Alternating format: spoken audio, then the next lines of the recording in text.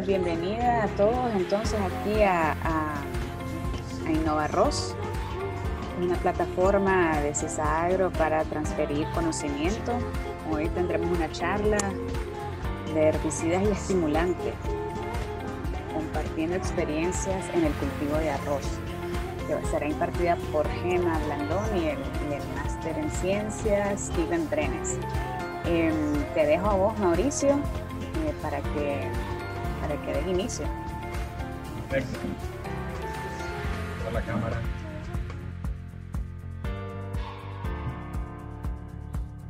Bueno, eh, buenas tardes a todos. Eh, muchísimas gracias por estar aquí acompañándonos. Mi nombre es Mauricio Barrios, soy gerente comercial de CISA Agro y, y antes que nada, pues quiero desearles, deseando que todos estén gozando de buena salud.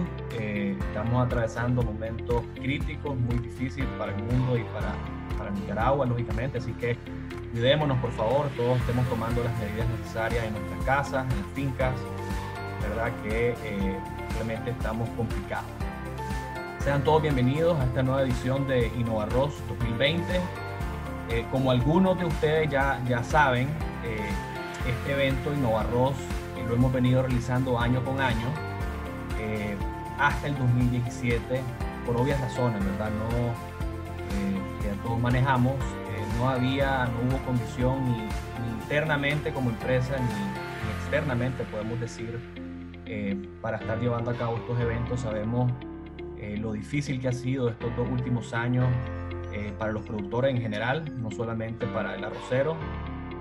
muchos problemas que a todos conocemos, sin embargo, pues ahora que nos estamos volcando y esta eh, epidemia eh, nos está empujando, nos estamos volcando a, la parte o, a la realidad virtual, ¿verdad? Eh, no dudamos un segundo en que, en que este año iba a ser una buena oportunidad para retomar Innovarros, eh, que por muchos años lo estuvimos realizando. También como, como los que han participado anteriormente saben, pueden, han sido han estado y, han sentido cómo este evento, eh, digamos, fue concebido como una plataforma, como dijo Silvia, para intercambio de conocimiento lo más científico posible. Eh, realmente aquí no venimos a, hablarles de un producto en especial, en específico. Eh, queremos ser lo menos comercial o cero comercial posible. Eh, siempre nos hemos preocupado por traer expositores del más alto nivel, que estén trayendo información innovadora eh, y muy relevante para las plantaciones, de cara siempre a mejorar nuestros rendimientos, ¿verdad? En campo. Eh, ese ha sido Innovarroz históricamente y esta no va a ser la excepción. Así que, eh, sin más preámbulos, nada más quiero nuevamente agradecerles a todos los que están en, sintonizándonos, sintonizándonos el día de hoy. de verdad esperamos que lo disfruten y sobre todo, pues, que, que les sea de utilidad eh, estas dos charlas que traemos. Silvia eh, ya dio más o menos una breve introducción. Hoy tenemos dos, eh, dos presentaciones. La primera, eh, y hago introducción formal a Gema Blandón. La ingeniera Gema Blandón es nuestra encargada del área de investigación y desarrollo por varios años en la CISA. Entonces, ella nos va a estar hablando hoy de herbicidas y bioestimulantes como les digo, desde la parte lo más científica posible, entender eh, qué es lo que hace el herbicida, eh, ¿verdad?, en, la planta, en la planta y qué es lo que ahora, pues que está tan de moda el tema de bioestimulante, por qué le estamos dando tanta importancia al bioestimulante y más en arroz, siendo un, eh, un cultivo de, de alta demanda en herbicidas, ¿verdad? Entonces, vamos a estar entendiendo qué hacen dentro del cultivo, eh, y posteriormente nuestro invitado especial, el ingeniero Steven Brenes de Costa Rica, de la Universidad Earth, ya lo voy a estar presentando en su momento. Eh, el ingeniero Steven nos va a estar hablando de modos de acción de herbicidas preemergentes y la dinámica poblacional de malezas. Esa va a ser la segunda charla y, yo voy a estar presentando igual al ingeniero Steven. Así que bienvenidos todos y Gema, eh, te cedo la palabra. De acuerdo. Eh, buenas tardes a todos. Espero que pues estén todos bien. Espero que me escuchen bien y por favor me lo confirman ahí rapidito en, el chat si están escuchándome bien. Eh,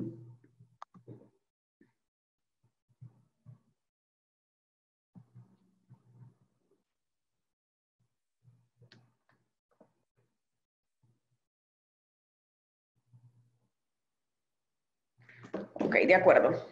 Eh, me dicen que sí me escuchan bien. ¿Observan mi pantalla también, por favor? ¿Me confirman? Sí, Gemma. Todo bien, adelante. Bueno, de acuerdo. Eh, buenas tardes a todos. La verdad que pues es un gusto y un placer para mí estar compartiendo hoy con ustedes. Eh, como ya lo decía Mauricio, pues Estamos en una época o en un momento realmente sin precedentes, ¿verdad? En la, en la historia de la humanidad y estamos conscientes pues que la agricultura es algo que no debe de parar y no puede parar y pues por consiguiente eh, nosotros tenemos que estar ahí pues al, al, al pie o al, al, llamado. Y aunque muchas cosas se paren, hay algo que no se puede parar del todo y es el tema del conocimiento. Y precisamente esa es la razón pues por la que nosotros hemos querido eh, en este, eh, este día hacer este, esta presentación. Eh, vamos hoy, señores, a compartir con ustedes algo bastante distinto a lo que quizás estamos acostumbrados a, escuchar, ¿verdad? En una charla de, de un proveedor. porque no queremos hacer la típica presentación donde venimos y hablamos de productos. Porque para hablar de productos pues eso se hace en el campo, ¿no? Y eso se demuestra más bien en campo. Así que hoy vamos a hablar muchas cosas, eh, cosas que quizás a veces se dan por sentado o cosas que nunca las mencionamos, ¿verdad? En una, en una, en una charla de este tipo, porque pensamos pues que ya están, ya están claras. Pero quiero en este momento eh, que realmente retomemos muchos conceptos eh, que, como les digo, quizás ya los damos por sentados, pero pues vale la pena eh, volver a, retomarlos. Así que voy a iniciar.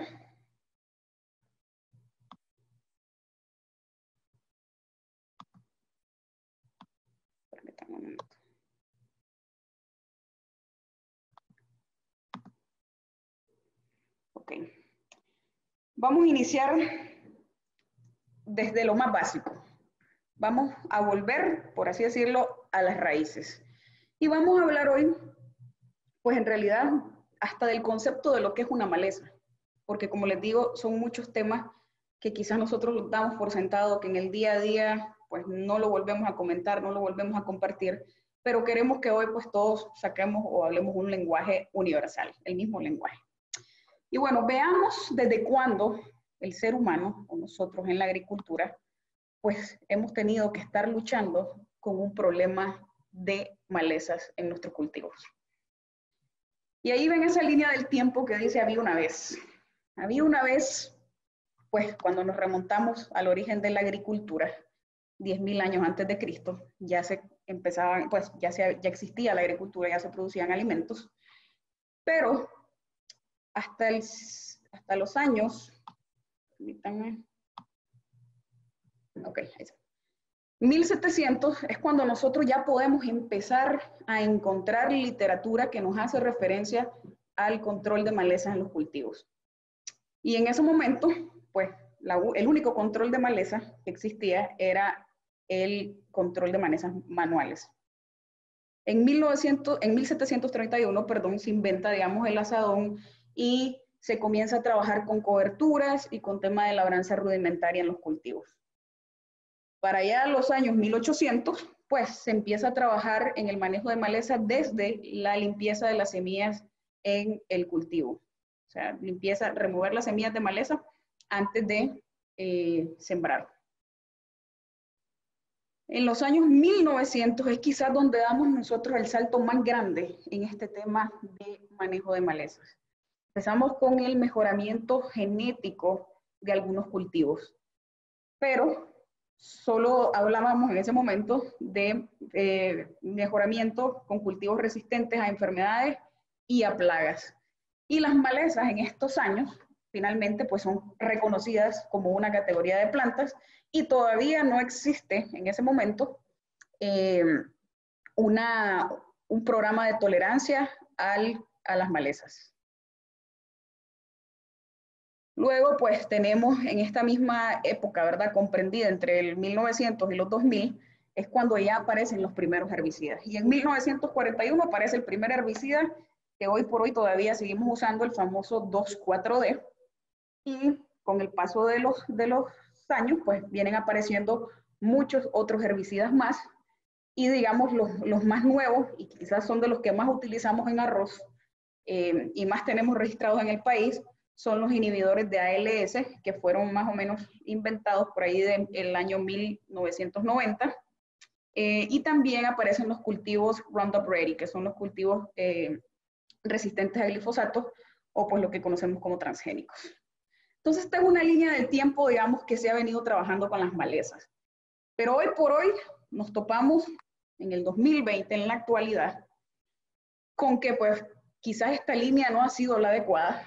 Eh, y hoy en día estamos viendo, o el tema de las malezas, el tema de los herbicidas está siendo fuertemente criticado por un tema ambiental, por un tema de resistencia a los herbicidas, porque pues con todo este paso de, los años, realmente no tenemos muchas opciones para control con herbicidas y pues se está trabajando, como les digo, una corriente muy fuerte en cuanto a control biológico y tratar de reducir el impacto de los herbicidas en nuestros cultivos. Entonces, veamos, permítanme.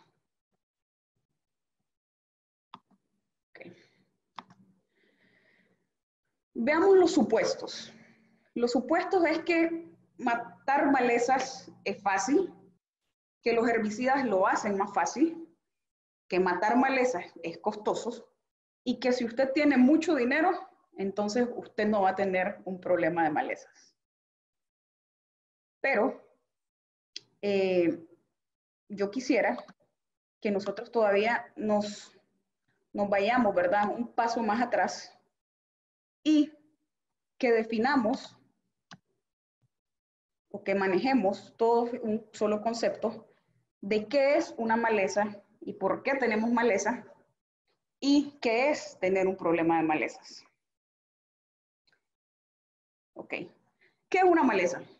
Yo sé que, pues, como les digo, es un concepto bastante amplio eh, y mucha gente, pues, maneja su propio concepto. Pero yo quiero que a partir del día de hoy y de esta charla, quizás todos nosotros manejemos el mismo concepto de lo que realmente es tener una maleza en nuestros campos. Y nos vamos a encontrar con muchas definiciones. Y una de las más comunes es esta. Una maleza es una planta mala, es una planta que está creciendo donde no se quiere, es una planta que crece donde se quiere que algo más crezca, es una planta a la que no se le han descubierto sus virtudes. Y esta afirmación a mí me gusta mucho.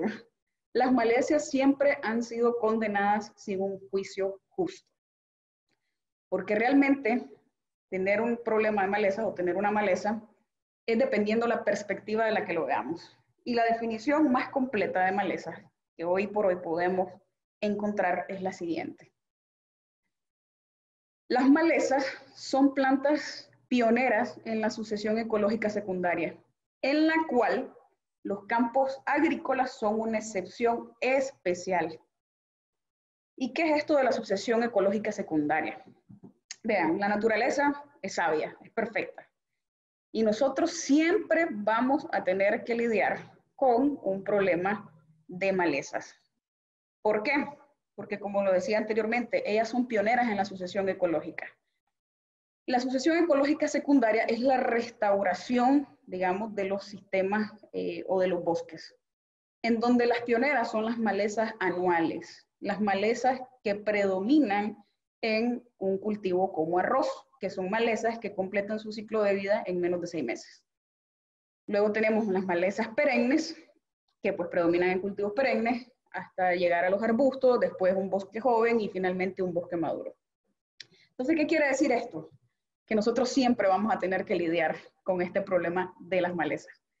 porque el ambiente o digamos esta sucesión ecológica está diseñada para que a partir de cada interrupción que se haga, eh, que, cada, que se haga en el medio, ya sea porque vamos a entrar a sembrar un cultivo o ya sea por, no sé, un incendio forestal, ella siempre se va a regenerar. Y las malezas son las pioneras, son el primer eslabón de esa cadena y por eso es que las vamos a tener. Ahora, las malezas, pues, han diseñado, digamos, ciertos mecanismos para reproducirse o para que nosotros las lleguemos a llamar eh, malezas. ¿Y cuál es la ocurrencia de malezas que nosotros podemos tener para que vayamos puntualizando todo este tema? Aproximadamente tenemos unas 250 mil especies de plantas registradas, ¿verdad? De esas 250 mil, 200 especies son responsables del 90% de las pérdidas agrícolas. Y dentro de esas 200 especies tenemos 450 familias de plantas. Dentro de esas 450 familias, dos familias albergan el 40% de las especies de malezas. Y esas son las poáceas y las asteráceas. Y en nuestro caso puntual de arroz, pues las poáceas son, digamos, las más eh, a las que tenemos que ponerle pues el ojo, ¿verdad? O de las que tenemos, con las que tenemos mayor problema.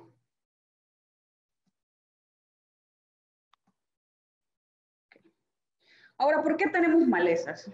Y realmente la respuesta es bastante sencilla. En un ambiente nosotros tenemos oxígeno, tenemos humedad, tenemos suelo y tenemos luz. Y eso se llama tener recursos ociosos disponibles. Entonces, las malezas, como ya bien lo saben, pues son especies oportunas, oportunistas y van a aprovechar este tipo de recursos ociosos disponibles. Si a eso nosotros le sumamos esa capacidad que tienen las malezas para reproducirse, que es uno de sus mejores mecanismos de sobrevivencia, veamos pues cuáles son esos mecanismos. Resulta que las malezas tienen una altísima capacidad de producir semillas. Aquí les pongo un ejemplo, una amarantácea puede producir hasta 5 millones de semillas por planta. La producción de semilla la pueden hacer bajo diversas condiciones, tienen una capacidad de germinar en diferentes ambientes, se puede polinizar ella sola o hacer una polinización cruzada. Y aparte que las semillas están adaptadas para hacer una dispersión pues a, larga, a largo o corta distancia. Y una de las, uno de los factores, diría yo, que más dispersa la semilla somos precisamente nosotros los seres humanos. Cada vez que entramos a un campo de arroz, de, de maíz, de café, de cualquier cultivo que sea, y nosotros entramos y hay malezas, pues cuando salimos igual llevamos pegado en el pantalón, en los zapatos, siempre esas semillas y así las vamos regando y dispersando. Entonces al final es un problema que se reduce a algo tan pequeño, ¿verdad? Como la semilla. Y es desde aquí, de aquí, de la semilla, de donde nosotros tenemos que partir realmente para hacer un adecuado eh, control de malezas. ¿Por qué? Porque las semillas, pues realmente, o las malezas, tienen un ciclo bastante, bastante, eh, bastante rápido para poder reproducirse, ¿verdad? Tenemos una semilla, crecimiento vegetativo, floración, semilla nuevamente y este círculo se repite y se repite. Entonces tenemos que centrarnos en ver cómo, cómo controlamos estas semillas. Y vean esto, muy importante, eh, ya pues cuando hablamos de, del tema de malezas, tenemos, por así decirlo, agrupémosla de manera diferente, ¿verdad? Eh, olvidémonos por el momento de la familia, de la especie y todo. Agrupémoslas de esta manera. Las malezas que emergen con el cultivo y las malezas que emergen después que el cultivo. Y la competencia entre un cultivo y una maleza realmente es algo más, muy complejo. Es algo pues que va más allá simplemente de que si emergieron juntas o no. En este gráfico que ustedes ven acá, pueden ver, digamos, los porcentajes de pérdida de rendimiento en maíz y en esta otra línea, ustedes ven el número de plantas eh, por 0.1 metros cuadrados. Entonces, es la misma maleza, ¿verdad? En este caso, una zacate cola de zorro, pero acá tenemos diferentes localidades, es decir, diferentes ambientes. Entonces pueden ver que el hecho de tener 20 plantas de cola de zorro, si estoy en Nebraska, prácticamente no me afecta. Pero si estoy, en este caso, en Minnesota, que es un ambiente muy diferente, con temperaturas muy diferentes, em, humedades relativas diferentes, pues puedo pasar hasta tener más del 60, casi 70% de pérdida en rendimiento. Entonces la competencia no se va a comportar igual en todos los ambientes. Puede ser que la misma cantidad de plantas de leptocloa, por ejemplo, por metro cuadrado que tengo en Malacatoya, esté compitiendo ahí en esa, en esa localidad, pero puedo tener en Cebaco hasta más plantas quizás y no están siendo una competencia para el cultivo. ¿Por qué? Porque depende de muchos otros factores. Acá, en esta gráfica que tenemos al lado derecho, ustedes pueden ver las semanas de emergencia del cultivo, ¿verdad? Entre más semanas yo deje a esa maleza competir con el cultivo, el aumento en las pérdidas de rendimiento pues va a ser mucho mayor. Por eso en el cultivo de arroz nosotros tratamos de enfocar siempre todos los controles y todos, eh, todos los esfuerzos, ¿verdad? En estas primeras semanas, que son el mejor momento para controlar donde no está presente una competencia y donde pues los rendimientos pueden ser eh, bastante bajos. Digo bastante bajos porque realmente en un sistema eh, los rendimientos nunca van a ser cero, ¿verdad? las pérdidas nunca van a ser cero, perdón.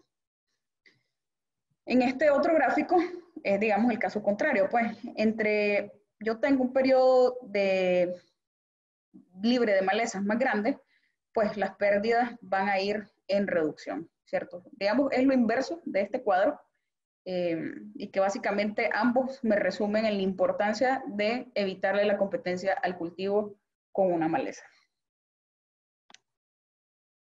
Ahora, lo más común en este cultivo, en arroz, pues, o en cualquier otro cultivo. Gemma. ¿Sí?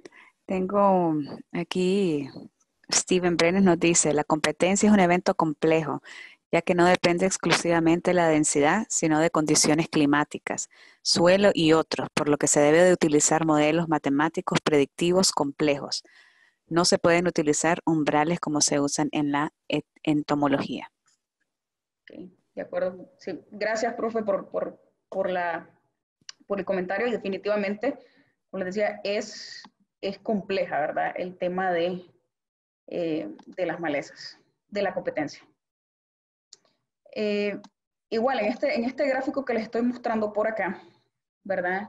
Nosotros tradicionalmente estamos muy acostumbrados a controlar el problema hasta que ya lo vemos, hasta que ya vemos que es problema.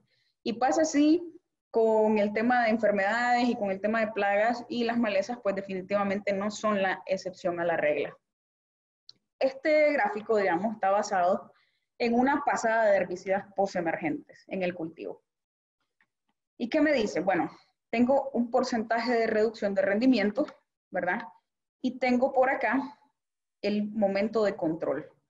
Entonces, digamos, entre yo más reduzca esa brecha de control, entre menos, eh, entre menos competencia o menos tiempo yo controle, pues las pérdidas van a ser más nulas o quizás cero. Eh, pero si yo ese periodo de competencia lo extiendo, como en este caso donde ven esta, ¿qué paso? O le permito a la maleza y al cultivo tener una competencia que va de dos, tres, cuatro, cinco semanas, obviamente la curva o la duración de la competencia va a ir en aumento y asimismo va a ir el porcentaje de reducción de rendimientos. ¿A qué vamos con esto? Bueno, de que los herbicidas postemergentes eh, pues son una buena opción, pero nosotros debemos de buscar opciones para controlar malezas desde antes, desde antes para evitar que estas pérdidas pues sean eh, mayores en nuestro, en nuestro cultivo. Ahora, ¿cómo podemos mejorar esa competencia? ¿Verdad? Y aquí es algo que, que quizás muchas veces nosotros no hacemos porque estamos muy acostumbrados a que cuando vemos la ficha técnica de un cultivo, eh, pensamos pues que con el tema de herbicidas nos vamos a, resolver todo este tema.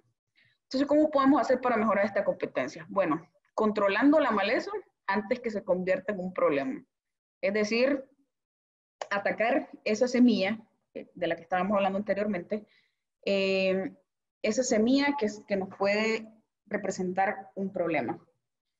Tenemos que buscar la manera pues, de asegurar de que nuestro cultivo tenga una, una emergencia rápida, una alta tasa de crecimiento, que su expansión eh, radicular y elongación foliar sea más, más rápida, un alto nivel de, en este caso de arroz, digamos, de ahijamiento.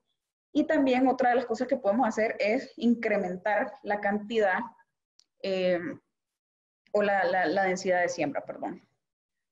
Y vean, esto pues está sustentado realmente con datos. Entre mayor área, o perdón, mayor altura yo tenga de un cultivar, el número de malezas por metro cuadrado va a ser menor. Pero si yo tengo plantas de porte bajo a mediano, plantas pues pequeñitas, eh, la cantidad de malezas prácticamente se va a quintuplicar casi. ¿Y esto por qué? Porque ya, como hablamos, habían recursos ociosos disponibles. Y si lo vemos eh, en el caso de, de cultivos que se, que se, siembran pues, a diferentes espacios entre surco y entre plantas, vamos a lo mismo. Vean este, este ejemplo, plantas sembradas a 15 por 15, son centímetros, ¿verdad?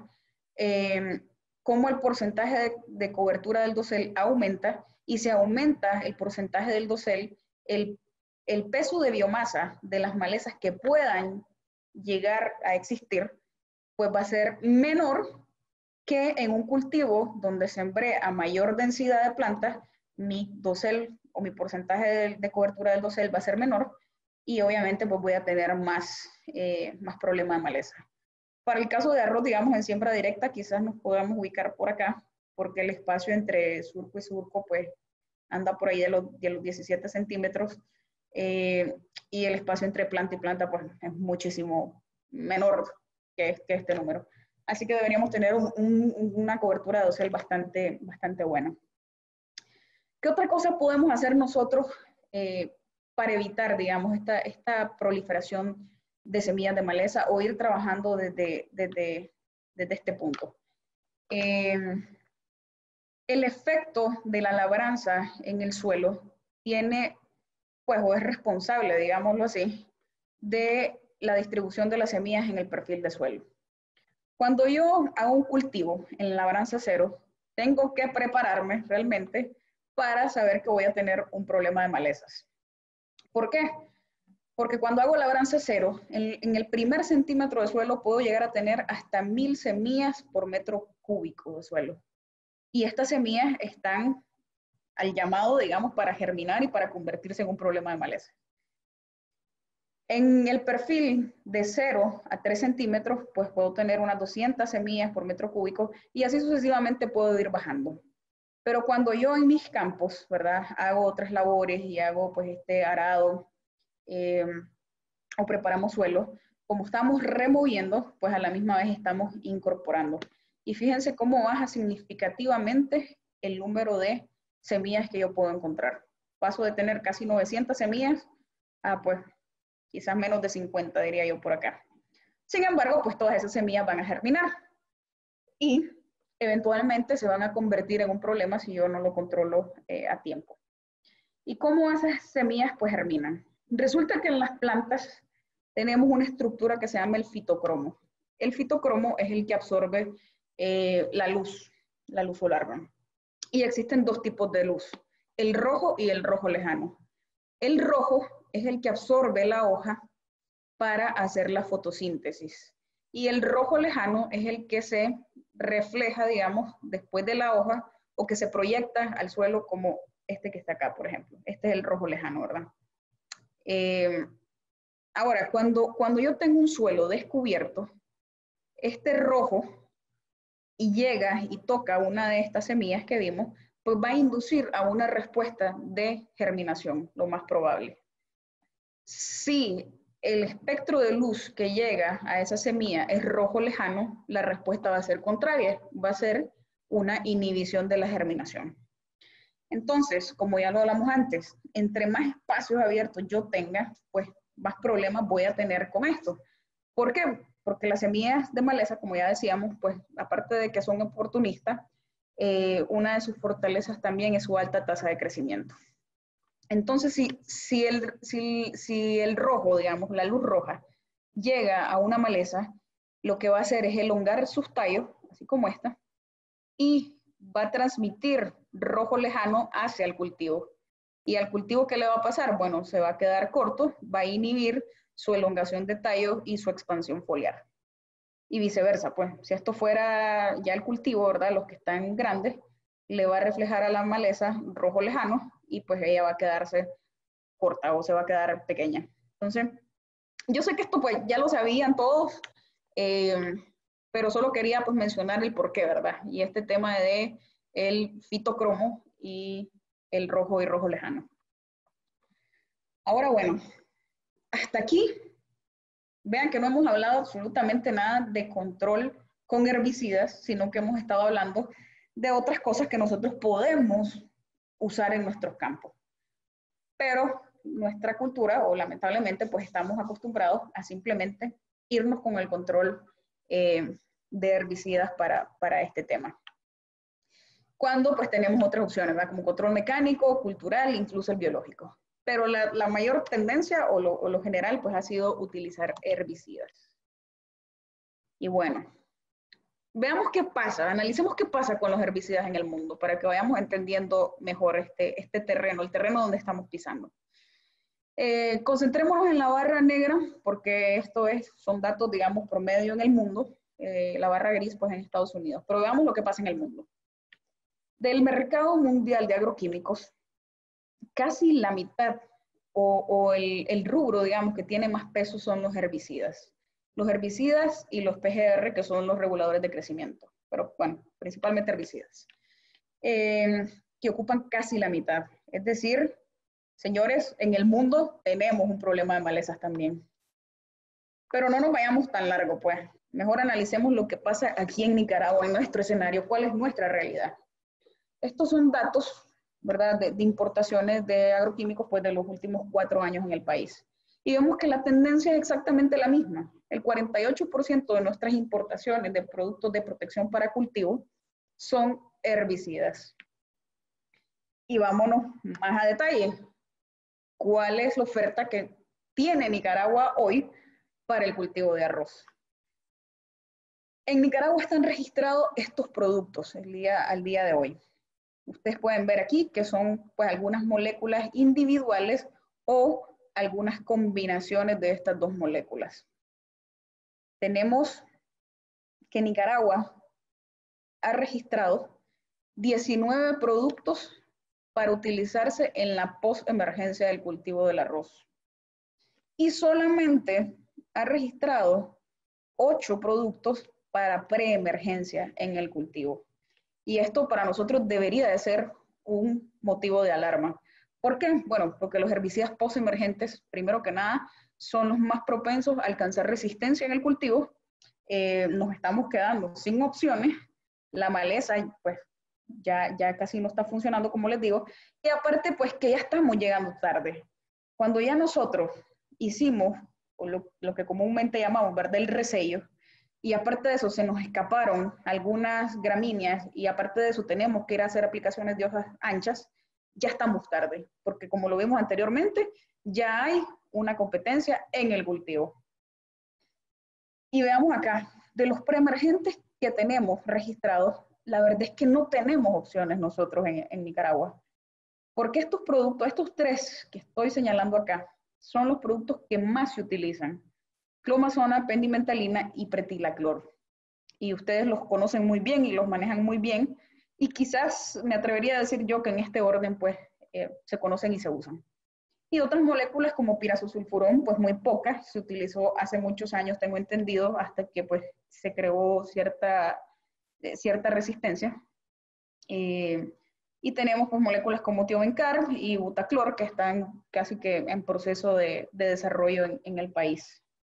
Entonces, esta es la oferta que nosotros tenemos para el cultivo de arroz. Y ahora, pues vayámonos al concepto de qué, es un herbicida. Para mí el herbicida es el mal llamado control químico. ¿Por qué? Porque realmente un herbicida son sustancias que intervienen en los procesos metabólicos de las plantas. y que pueden ser selectivos a ciertas especies de plantas o a ciertos cultivos. Y los herbicidas tienen una clasificación muy grande, se pueden clasificar de muchas y diversas maneras. Y ustedes las conocen, los podemos clasificar por momento de aplicación, por su traslocación y por su selectividad. Pero cuando hablamos de arroz, lo más común y lo primerito que preguntamos a un asesor comercial es cuál es su modo y cuál es su mecanismo de acción, ¿no? Y en general, pues esos son los modos y mecanismos de acción que nosotros conocemos eh, de lo que son el mundo de los herbicidas. Entonces, pues tenemos eh, seis modos de acción, ¿verdad? Conocidos y diferentes sitios de acción. Pues no, no voy a diluirme en eso porque sé que en arroz esto es pan de cada día. Y más adelante, pues también eh, el profe Steven nos tiene preparado un, poco de información sobre, sobre este tema. Eh, y tenemos pues este modo de acción del que muy poco hablamos, muy poco conocemos también, que son los misceláneos o desconocidos. Ya son herbicidas que están, eh, digamos, actuando o en desarrollo o se están estudiando porque inhiben la respiración en la célula, en modos de acción desconocidos, que son los que tocan o queman tejidos, y tenemos algo otros en desarrollo, microherbicidas, pues que son hongos que tienen la capacidad de parasitar una planta y eventualmente matarla, pero no matar al cultivo. Pero bueno, agarremos toda esa lista que nosotros tenemos de herbicidas en Nicaragua y clasifiquémoslas en esto, clasifiquémoslas en todos esos tipos de modos y mecanismos de acción que tenemos en el cultivo. Y vean qué interesante. Estas son nuestras moléculas, ¿verdad? Eh, nosotros,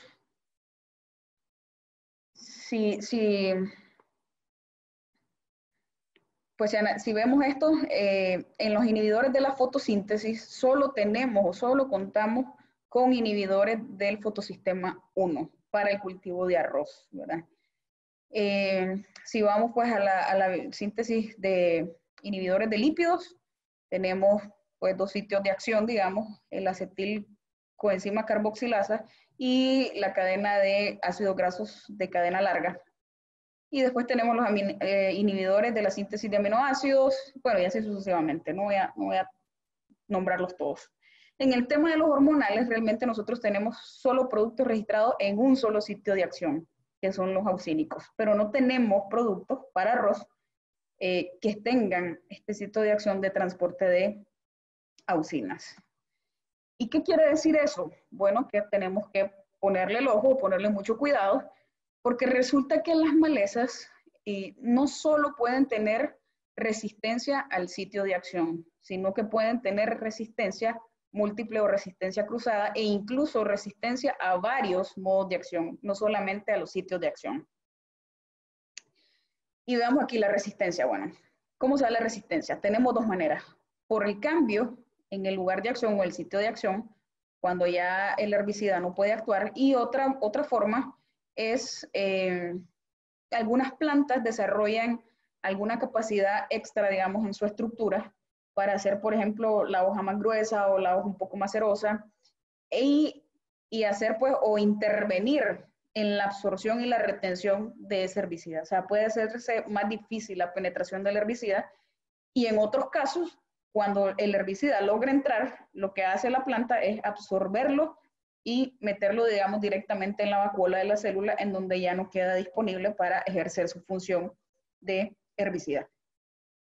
Y la resistencia, como les decía, hay de dos tipos. La resistencia cruzada, que es la resistencia a varios sitios de acción del mismo modo de acción. Y la resistencia múltiple, en donde ya es resistente a varios modos de acción distintos yo sé que, pues, como les digo, yo sé que lo manejan, pero modo de acción es una cosa y sitio de acción es otra cosa. Y resulta que ahora eh, podemos tener cualquiera de estas dos eh, resistencias o incluso un mix de ambas. Y cuando nosotros tenemos eso, entonces viene el famoso concepto de la presión de selección de un herbicida. ¿Qué es esto? Bueno, el herbicida realmente es, eh, es inteligente, digamos, él no se va a desgastar él va a matar las plantas que pueda matar y las que no simplemente van a seguir. Y esa es la presión de selección de un herbicida. Y en este cuadro que está acá, en este triángulo, perdón, ustedes, eh, si, nos vamos nosotros a buscar todas esas familias o todos esos ingredientes activos de herbicida que hemos registrado en el país, eh, tenemos pues que tenemos este, este triángulo que nos indica la presión de selección eh, ejercida ¿verdad? por diversos grupos de herbicidas. Es decir, la resistencia que se pueda ir creando ¿verdad? En el, con el uso de estos productos.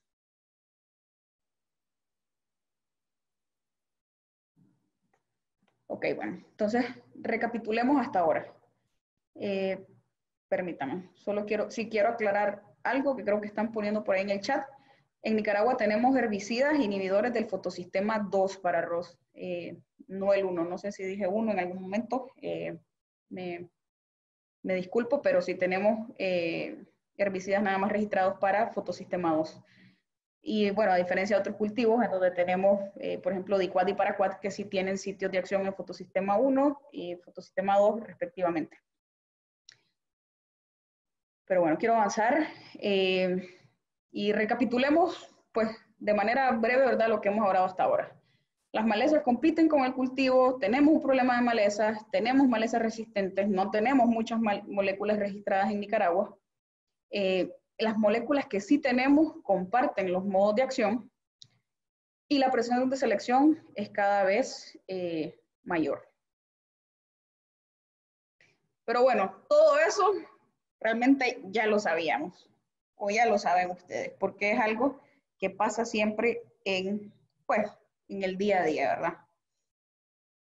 Entonces mejor hablemos de lo que nunca se habla, de lo que nunca esperamos realmente ver eh, o conversar en, una presentación como, como de este tipo. ¿Qué le pasa a un herbicida cuando se libera al ambiente? Eso lo sabemos. Se deriva, se volatiliza, se absorbe, se absorbe, es diferente, se degrada o se vuelve tóxico. Pero cuando nos preguntan qué le pasa al ambiente, la verdad que preferimos contestar de esa manera. No sabemos aunque en el fondo, pues, sepamos, ¿cierto?, de que, de que hay una, una interrupción, obviamente, del ambiente y que tenemos posiblemente varios niveles de contaminación. Y aquí yo solo quiero, pues, hacerles eh, una invitación a, todo el gremio arrocero, a, pues, que se unan al programa de Campo Limpio, ¿verdad?, que tiene ANIFODA, precisamente para tratar de eh, disminuir el impacto negativo que podemos tener en el ambiente con este tema de herbicidas y no solo pues con todo lo que son eh, productos de protección para cultivo. Em, campo limpio, brevemente, ustedes quizás lo han escuchado, es un lugar donde se acopian los envases vacíos de agroquímicos, se, se procesan, digamos, o se prensan y se vende a una empresa local que está trabajando en la elaboración de muebles para casa Perdón.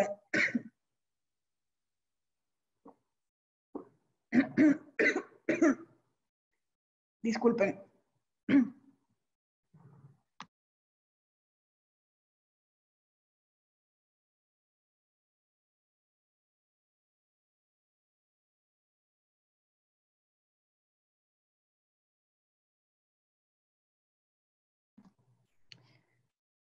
Perdón, disculpen. Eh, trabaja en, elaboración de muebles para casa y eh, pues es parte de una responsabilidad compartida. Para los compañeros o los productores de, Malacatoya, eh, tienen el centro de acopio en Tipitapa. Así que les invito a que se unan a este, a este programa. Realmente no tiene ningún costo, simplemente es el compromiso de entregar los envases vacíos en lugar de pues quemarlos en algunos casos o en otros enterrarlos.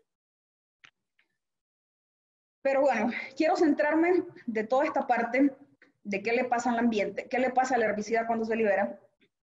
Quiero centrarme en esto, en que un herbicida se puede volver tóxico al cultivo. Y en este tema, pues, en todas, en, en este tema, siempre influye el tamaño de partícula y la formulación de un herbicida. Entonces, es de eso que vamos a hablar en este momento. Y veamos, hablemos del tamaño de partícula, pues para iniciar. Esto, digamos, es un metro y, pues todas sus escalas eh, milimétricas que, que, hoy por hoy conocemos. Entonces tenemos un metro, milímetro, micrómetro, nanómetro y así sucesivamente hasta llegar a la unidad más pequeña que es el micrómetro.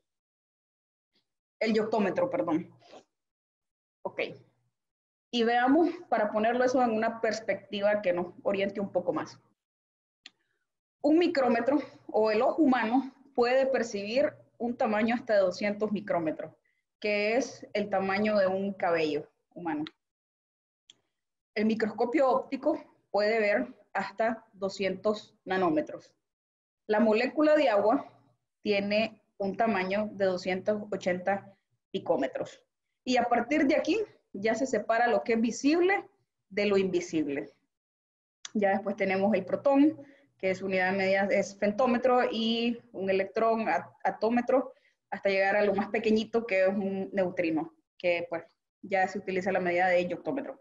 Pero de, aquí, de acá para abajo ya se vuelve invisible. ¿Y por qué es importante conocer esto? Bueno, ¿dónde nos movemos nosotros en la agricultura? O con este tema de eh, de la formulación de los productos, en este caso de los herbicidas, que es lo que estamos hablando. Resulta que las suspensiones y emulsiones, que son las formulaciones más comunes que nos vamos a encontrar en herbicidas, están ubicadas por acá, en el rango de los micrómetros, ¿cierto? Y generalmente estamos hablando de un tamaño de partícula de 150 micrómetros. ¿Y por qué ese tamaño de partícula? Porque es el tamaño más pequeño de los filtros que se utilizan en los equipos de aplicación. Sin embargo, pues son, digamos, las sustancias más grandes, que, o sea, tamaños de partículas más grandes. Después tenemos, bueno, los coloides. Eh, coloides no necesariamente, pues a veces cuando decimos coloides, lo primero que pensamos es en suelo, pero un coloide en este, en este caso es un soluto una solución, que ya son un poco más pequeños. Ya hablamos de tamaño de partículas de nanómetros. Y aquí también tenemos las microemulsiones, como pues hoy en día algunos productos eh, en microemulsión. Y tenemos las soluciones verdaderas. ¿Por qué es importante conocer esto? Porque cuando nosotros tenemos un tanque de, de producto que vamos a ir a aplicar, dependiendo la formulación que nosotros ocupemos, ¿cierto? Van a predominar fuerzas en ese tanque. Y esas fuerzas se llaman fuerzas de gravedad y fuerzas intermoleculares. Entonces, entre más grande sea el tamaño de partícula, lógicamente su masa va a ser mayor. Y si su masa es mayor, la fuerza que va a predominar es la fuerza de gravedad, es decir, la fuerza que tiende a precipitar los productos en una mezcla de tanque. Por otro lado, si utilizamos moléculas o partículas más pequeñas, van a predominar las fuerzas intermoleculares, es decir, esto se va a mantener en una suspensión eh, constante, digamos, dentro del tanque. Ahora bien, conociendo eso, y quiero que retengan el concepto porque más adelante vamos a volver a él, hablemos de las formulaciones. Estas son las formulaciones que conocemos hoy por hoy, las formulaciones líquidas y los sólidos. Y aquí podemos ver cómo se compone cada una de esas formulaciones. Los S, por ejemplo, son un solvente orgánico más el ingrediente activo y aparte tienen un coadyuvante.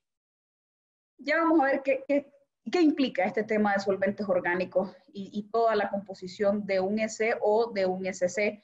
Incluso, pues vean, un SC es un ingrediente activo impregnado en una arcilla más agua más un coadyuvante. Ya, ya vamos a caer a eso. Y luego tenemos las formulaciones en polvo, pues y ustedes pueden ver aquí cómo se compone cada una de esas formulaciones.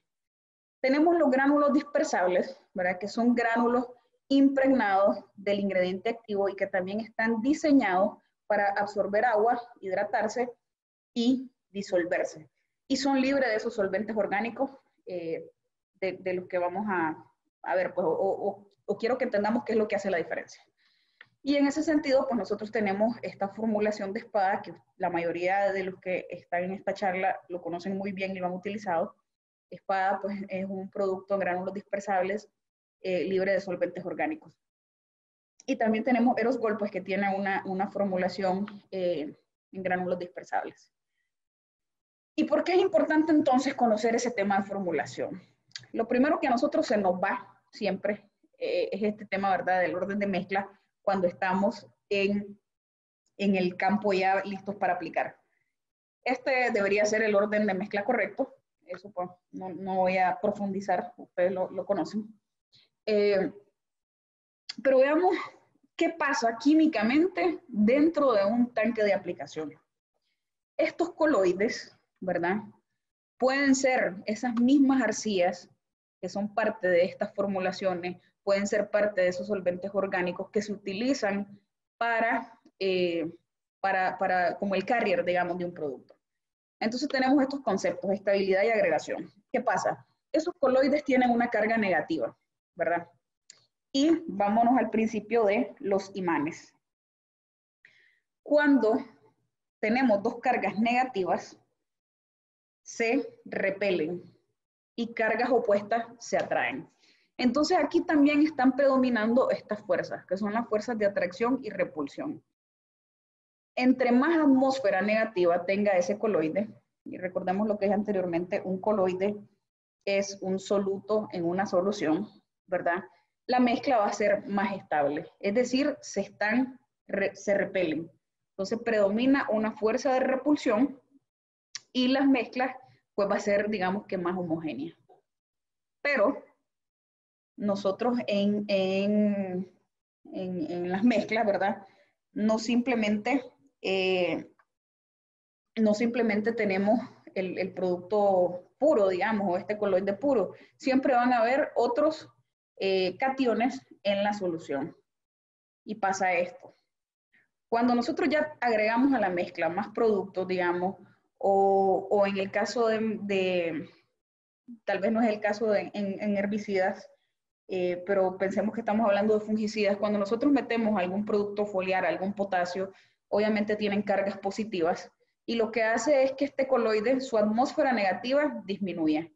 Entonces disminuye su atmósfera negativa, aumentan sus cargas positivas y aquí la relación es inversa, pues ya no predomina una fuerza de repulsión, sino que predomina una fuerza de atracción. ¿Por qué? Porque los polos opuestos o las cargas opuestas se atraen. Y vean esto, esto interesante que se llama la serie de Hofmeier. Aquí tenemos diferentes cationes, ¿verdad? Eh, y esta serie nos indica la estabilidad de estos cationes en una mezcla. Es decir, entre más estén o más tiendan a la izquierda, van a ser más estables.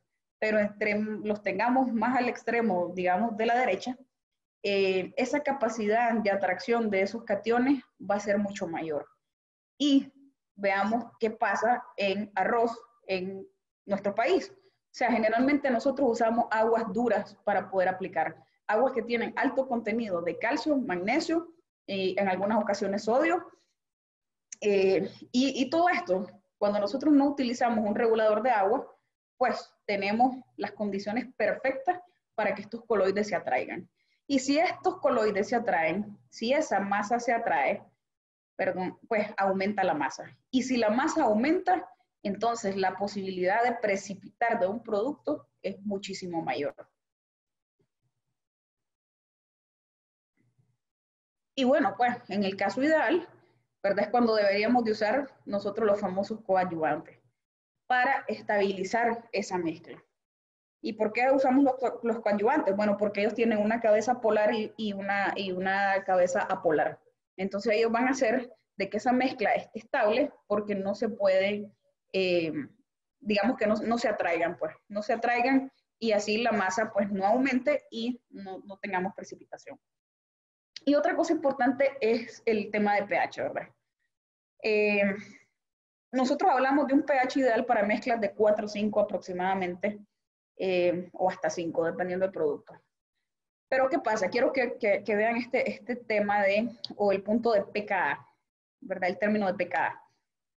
Cuando nosotros utilizamos estos reguladores de pH, generalmente son ácidos, eh, no se pueden ser ácidos carboxílicos, o incluso el coadyuvante que ya trae mi producto per se, también puede ser un ácido.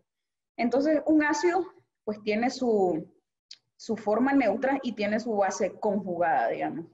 Y entre más cerca esté el pH de 4,5 o 4,6, va a ser mucho más estable. Pero si ese pH empieza a moverse o sea, a subirse, a tender a ser alcalino, lo que va a pasar es que este ácido va a empezar a disociarse, es decir, va a empezar a liberar protones. Cuando libera protones, entonces la masa aumenta y se precipita. Entonces, esa es la importancia de entender por qué usan un regulador de pH, ¿no? Porque nosotros hasta el día de hoy decimos, bueno, vamos a usarlo para que la mezcla funcione, pero ¿por qué? Digamos, esta es eh, la razón. Y este es el concepto, pues, que queremos eh, transmitirles y que quede, y que les quede claro. Ahora, bueno, otra cosa importante, no todos los productos son iguales. Este caso, esto que tienen aquí, todos, estos productos, estos seis productos, son el mismo ingrediente activo. En este caso es un glifosato. Pero los glifosatos pueden venir impregnados en diferentes sales, digamos. Tenemos sal de dimetilamina, sal potásica, sal monoamónica y sal de isopropalamina. Eh, aquí tenemos tres ejemplos de sal potásica en donde lo que cambia son sus concentraciones. Y vean, a pesar de que todo es el mismo producto, digamos, el mismo ingrediente activo que el glifosato, vean lo que pasa en las mezclas. Este es un ejemplo, ¿verdad? Con, atracina, pues atracina es un producto que no se utiliza en arroz, pero lo estoy tomando ejemplo. Eh, el contenido, digamos, los, gramos de ingrediente activo de glifosato se mantienen, igualmente en la eh, los gramos de ingrediente activo de, de, atracina. Y bueno, esta es atracina sola. Esta es atracina con un glifosato en sal monoamónica. Aquí tenemos atracina más sal dimetilamina de glifosato. Y pueden ver que estas dos, la sal monopotásica y la dimetilamina, son las más estables. Pero a medida que yo utilizo sales potásicas, pueden ver la diferencia en cómo esa mezcla se me va a ir precipitando. O sea que hay que ver también qué tipo de sal estamos usando.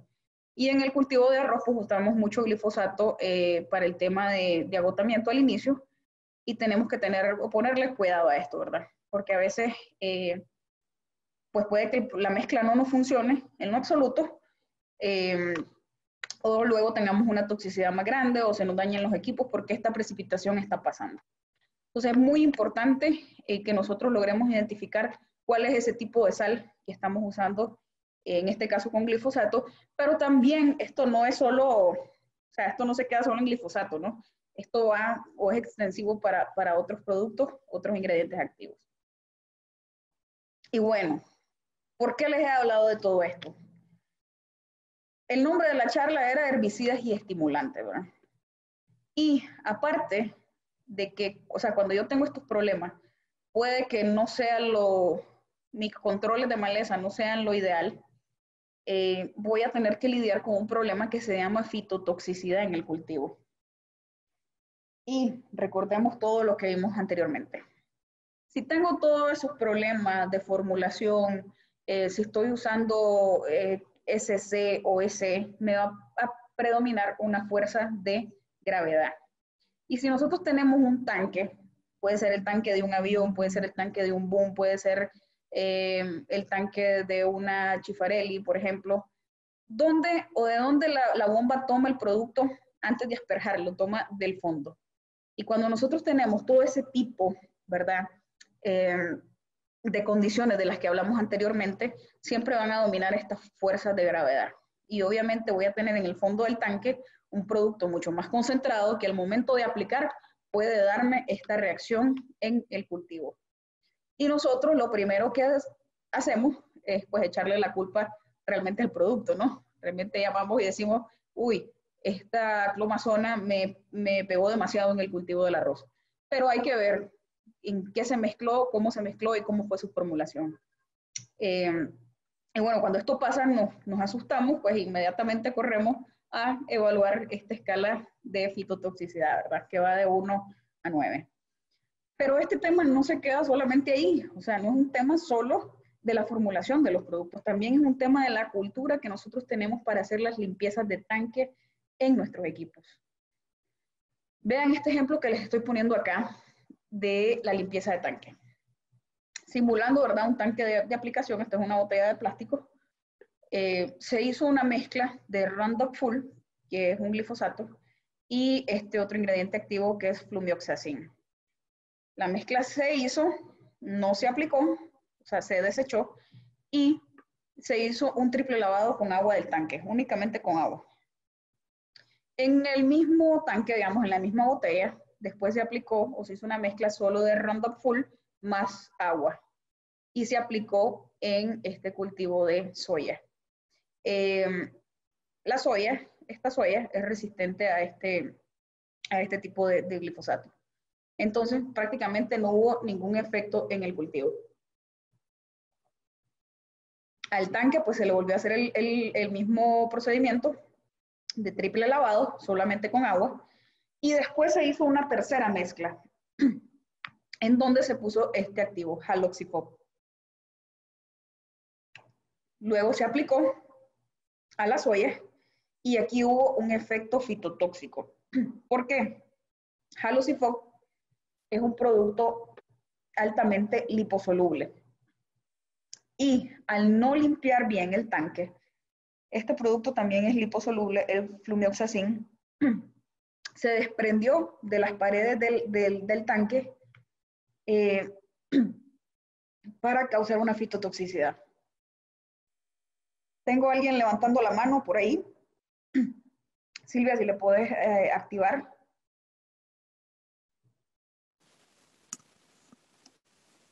Eh, yo no tengo vista de nadie, Gemma, discúlpame. Levantando mano.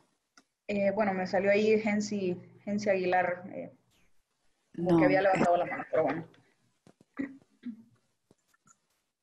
Ok. Bueno, entonces continúo. ¿Qué, qué, pasó en este caso? Eh, con una mala limpieza del tanque, partículas de este producto que habían quedado adheridas lograron desprenderse y causan una fitotoxicidad, digamos. Este es un golpe eh, la soya resiste, digamos, este producto, el flumioxacin, pero siempre causa este efecto. Pero pueden ver cómo fue, o sea, cómo, cómo estas mezclas de productos eh, pueden llegar a representar un problema. Y otro caso puede ser de que estoy usando un producto eh, liposoluble, terminé mi aplicación, yo creo que lavé mi tanque porque le puse agua varias veces y hasta que pues salía cristalino el agua lo dejé reposar y al día siguiente voy a hacer otra aplicación. Y quizás al día siguiente voy a aplicar, no sé, algún foliar o algún fungicida, pero yo vengo y uso un coadyuvante. Y resulta que ese coadyuvante puede hacer también de que esas partículas se desprendan y tener una fitotoxicidad en el cultivo. Y yo creo que quizás a ustedes les ha pasado eh, que en algún momento aplican un foliar y el efecto que ven en campo es que las hojas se enrollaron, por ejemplo. Eh, en lo personal les cuento, a mí me pasó. Yo hice una, una aplicación con 2,4-D eh, para, para, una grama, realmente. No la bebía en el tanque. Al día siguiente apliqué una mezcla de foliares, usé un coadyuvante y lo apliqué en maní. Pues, y el maní es un cultivo de hoja ancha. Y realmente la fitotoxicidad que tuve fue tremenda, por el simple hecho de no haber hecho una buena o una correcta limpieza del tanque. Entonces, ¿qué es lo que nosotros deberíamos de hacer? Seguir esos tres pasos. Diluir, que es lo que único o lo que generalmente hacemos, que es lavar con agua. Dos, neutralizar ese ingrediente activo o desactivarlo, que entonces ahí es cuando en algunos casos que ya venimos y usamos alguna urea para lavar el tanque o algún sulfato de amonio. Y lo otro es eh, retirar los residuos, que esto es lo correcto que tenemos que, hacer. Y bueno, pues como les digo, todo esto es un conjunto y realmente nosotros nunca lo hablamos en las presentaciones y nunca quizás lo conversamos en campo eh, porque estamos mucho más enfocados en que si el herbicida ya mató a esa leptocloa o ya mató a esa equinocloa o ese escaemum eh, y siempre nos enfocamos mucho más en la maleza. Pero estos son temas muy importantes que muy, muy pocas veces eh, nosotros los, consideramos. Y es importante pues porque, eh, como les digo, a veces le echamos la culpa a los productos, a veces corremos y decimos, ala, este, este severo 48 de CISA pues eh, es, fuerte para el arroz, pero realmente tenemos que evaluar todo esto, todos estos conceptos. Y vean, los herbicidas, como les dije anteriormente, ellos son, eh, intervienen en procesos metabólicos en la planta. Y el arroz, o sea, no por, no por ser eh, selectivo, digamos, el herbicida, deja de ser un herbicida. Siempre va a intervenir en un proceso metabólico. Entonces, una fitotoxicidad siempre va a existir, aunque el arroz sea resistente a X o Y herbicida. En este caso, o este ejemplo que les voy a poner, eh, tenemos pues, esta es una molécula de propanil, eh, y esta molécula, bueno, entra al arroz, tenemos esta señora que ustedes la conocen muy bien, que es la arilacilamidasa, que es la encargada de desdoblar esta molécula. Entonces ella viene, desdobla esta molécula en dos componentes. En la, esta se llama 3,4-dicloroanilina y en ácido propiónico. Y estos ya dejan de ser relativamente tóxicos para el arroz eh, y tienen dos vías, ¿verdad?, de excreción en la planta. Una es eh, almacenarse en la vacuola, si son compuestos solubles, y otra pues eh, almacenarse en el apoplasto, que son los espacios intercelulares. Pero bueno, esto es eh, las rutas metabólicas de desintoxicación, ¿verdad?, de un herbicida.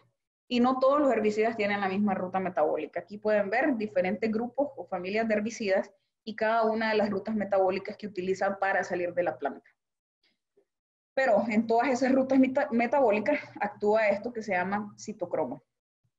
Eh, el citocromo es un conjunto de enzimas en las células, eh, en la planta, perdón, que lo que hacen es pues ayudarnos a sacar ese tema de toxicidad de herbicidas.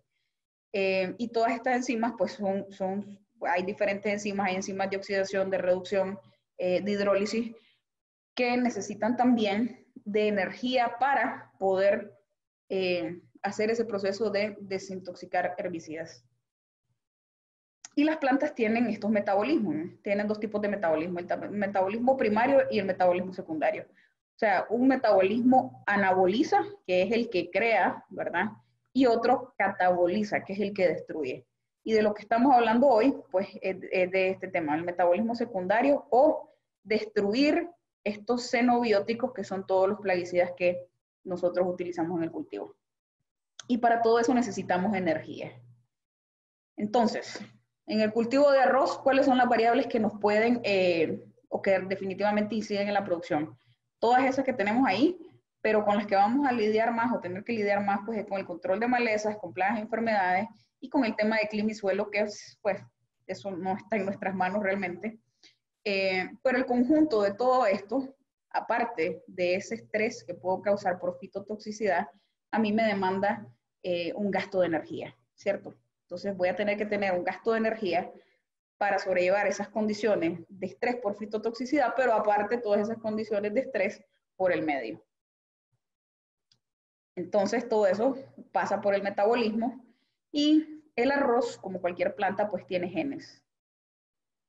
Un arroz tiene aproximadamente esa cantidad de genes, más de 35 mil. Eh, se componen en dos grupos, constitutivos y regulados, que son los que actúan pues directamente en el tema de metabolismo. Y esos genes eh, tienen, esta, tienen esta secuencia, digamos. El genoma, que es la cantidad de genes que están presentes, el potencial genético, que es la capacidad de expresarse, y la expresión génica, que es finalmente este potencial convertirse en algo útil. Nosotros siempre hablamos del potencial genético y cuando vamos a, a seleccionar una variedad siempre decimos es que tiene un potencial de rendimiento de tanto. Pero realmente eso no nos sirve de nada, señores. Lo que nosotros necesitamos es que ese potencial se llegue a expresar y llegue hasta ser esta, esta expresión génica, ¿verdad? Convertirse en algo útil. ¿Y cómo lo hago? Pues tenemos que activarlo. ¿Y cómo lo activamos? Los genes en las plantas se eh, expresan como enzimas. Y estas son las enzimas que nosotros tenemos que activar. Entonces, para que nosotros alcancemos este potencial genético, tenemos que activar estas enzimas que nos van a permitir más rápido salir de estas condiciones de estrés que las causan todo lo que ya hemos venido hablando. ¿Y cómo las activamos? Pues de dos maneras. Con productos inorgánicos, que son algunos elementos metálicos, eh, zinc, por ejemplo, cobre, eh, manganeso, hierro, todos esos son elementos que activan enzima o con una vía orgánica que son los aminoácidos. Entonces aquí ya sé que tuve un problema de fitotoxicidad por el herbicida, ya sé que aunque el arroz sea selectivo, siempre voy a interferir en sus procesos eh, y necesito utilizar productos para ¿verdad? liberarlo. Y ahí es donde viene el tema de los famosos estimulantes o de los que vamos a caer ahora. Los estimulantes, pues, eh, entonces se obtienen por dos vías. Una hidrólisis eh, química, que es, digamos, la más conocida, no es tan buena. ¿Por qué no es tan buena? Pues porque tiene un alto contenido de sales, puede tener metales pesados y se destruyen algunos valores nutricionales. Y la otra vía es la hidrólisis biológica, en donde tenemos dos tipos, la, enzimática, que es digamos una de las más conocidas, y la fermentación bacteriana. ¿Por qué estas son las mejores? Porque bueno, tengo mayor cantidad de compuestos y aparte de eso, eh, tengo pues otros estimulantes. La mala noticia de esta fermentación eh, biológica es que pues es más cara o más costosa que la hidrólisis química y por eso poco existe. Tengo una pregunta, Gemma. Ajá. Eh, voy a,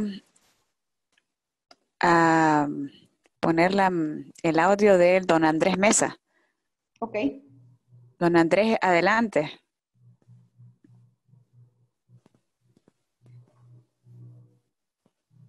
Don Andrés. Ya está habilitado su micrófono, puede hacer la pregunta.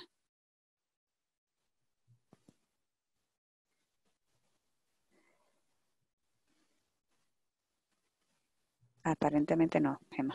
Sigamos. Perfecto. Eh, entonces, bueno, digamos, ¿cuál es lo, eh, la mala noticia? Como les decía, pues es que es un poco más costosa y por ende, pues pocos, productos vamos a encontrar en esta, con este tema de, eh, en este tipo de fermentación, ¿no? pero la buena noticia es que nosotros tenemos este producto que se llama Bombardier. Ya les voy a contar un poquito brevemente de él. Ahora, hoy, pues, de todo lo que yo ya he hablado, ¿verdad? Eh, de todo este tema de, de, los herbicidas, de eso que hablamos, pues, de lo que nunca hablamos, como les digo, de la formulación y esos tipos de fitotoxicidad, realmente cómo podemos integrar todo esto nosotros de un manejo más eficiente y tal vez más racional.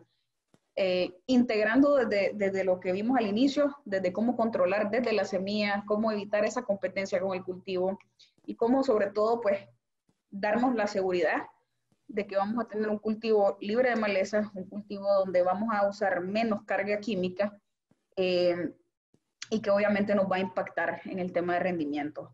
Y aquí yo solo quiero eh, brevemente comentarles la oferta la mejor oferta que nosotros como CISA les podemos hacer a ustedes, porque sabemos que otras casas comerciales también tienen excelentes productos y excelentes ofertas que hacerles. Pero esta es la mejor que nosotros, al interno como CISA Agro, podemos hacerles a ustedes. Y nosotros tenemos estos dos productos. Eros Gold, yo creo que ya, bueno, la mayoría ya los conocen de ustedes. Eros Gold es un herbicida para utilizarse en preemergencia total es una mezcla de dos ingredientes activos, no son moléculas nuevas, pero sí es una mezcla novedosa de ambos, que lo que nos va a permitir es tener un amplio espectro de control. Es de los únicos eh, productos, digamos, que nos va a controlar gramíneas, hojas anchas y ciperáceas en preemergencia. Es decir, vamos a evitar que eso se vuelva un problema. Y por otro lado tenemos espada, que este pues ya tiene más años, ¿verdad?, de estar caminando en el mercado, ustedes lo conocen igual, Em, que es un propanil muy distinto a los propaniles S. Ya vimos el problema de los propaniles S. Y, vemos, y lo vemos en campo, ustedes lo han visto, como un propanil 48S siempre quema o golpea las puntas del arroz, ¿verdad? Y siempre se da ese golpe de, toxicidad.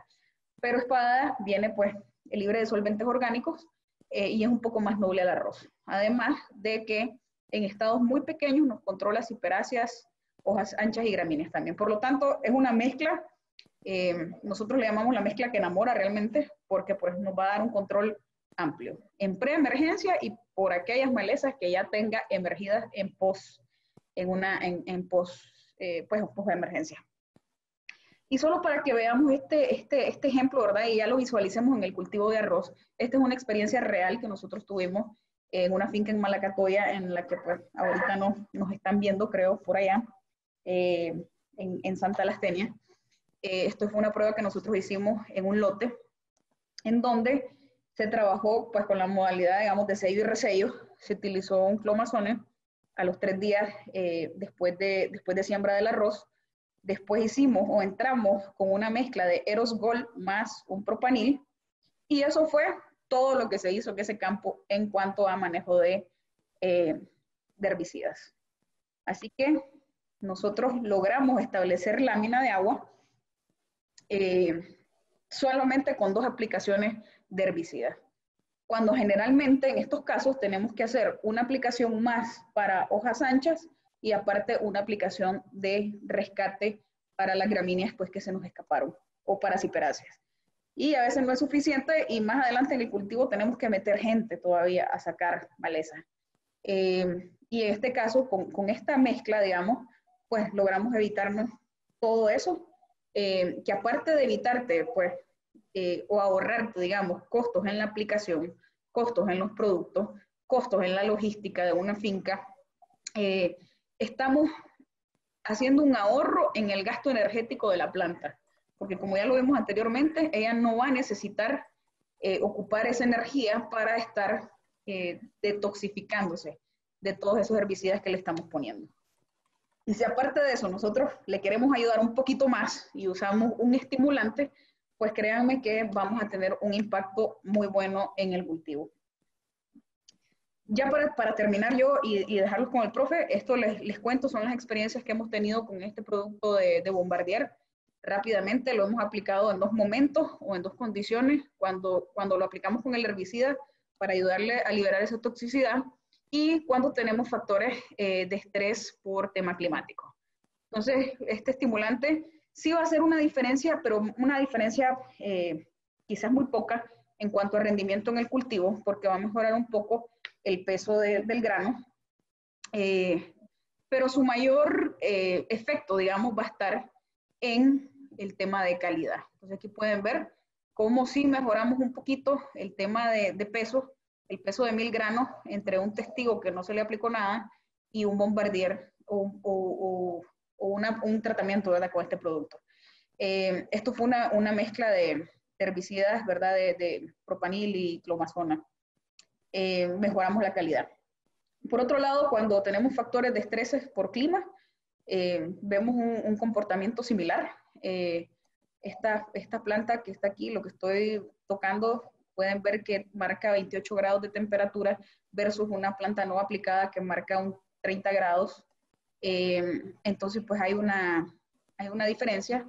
este, el producto trae termorreguladores como la glicina, la prolina y la betaína, que son reguladores osmóticos y le permiten pues, regular esa temperatura. Algo igual que vimos, pues, es el tema de eh, reducción en cuanto al baneo de, granos en la panícula, porque también de los aminoácidos que este producto trae, contiene eh, prolina, leucina y hidroxiprolina, que actúan en la germinación de polen. Podemos reducir un poco el, tema de, baneo, pero sobre todo el tema de calidad. Y estos pues son datos igual de, un ensayo real de campo. Eh, y que bueno, más adelante espero tener la, la, oportunidad pues ya de ir a conversar con cada uno de ustedes a sus fincas sobre estas opciones de productos que hemos hablado, ¿verdad? De Eros Gol y Espada y Bombardier. Tengo a don Andrés Mesa de nuevo. A ver, ya le, ya le habilité el, el micrófono, don Andrés.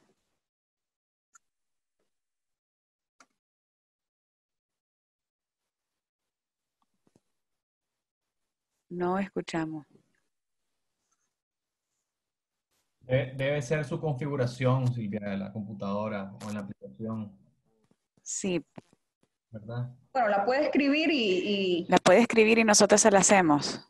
Ajá. Y mientras tanto, pues podemos irle dando ya el acceso a, al profe Steven.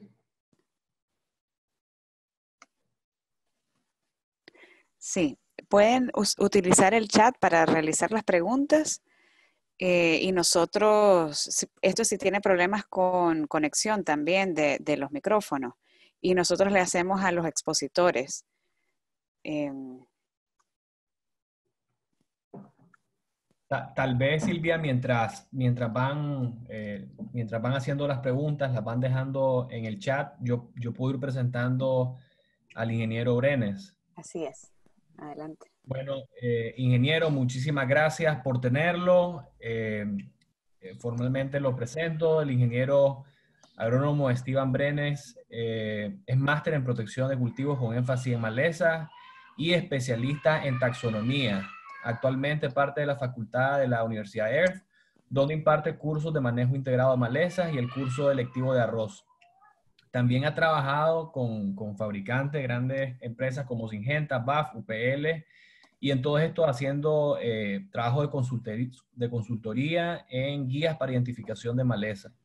En el 2008, el ingeniero realizó una guía de, identificación de malezas en arroz, específicamente para Nicaragua. Así que es un honor tenerlo aquí, ingeniero, y le damos la cordial bienvenida y, adelante.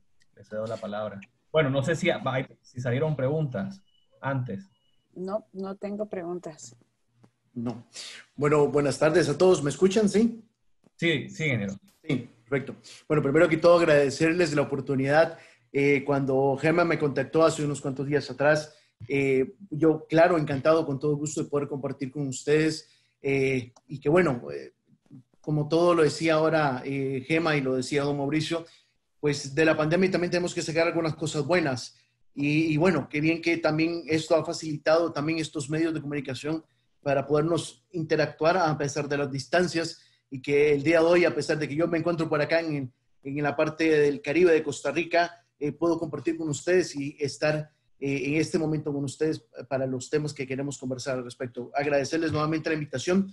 Lo que voy a hacer a continuación, voy a compartir la presentación. No sé si es necesario que, que Gema deje de compartir la de ella o yo puedo ya compartirlo.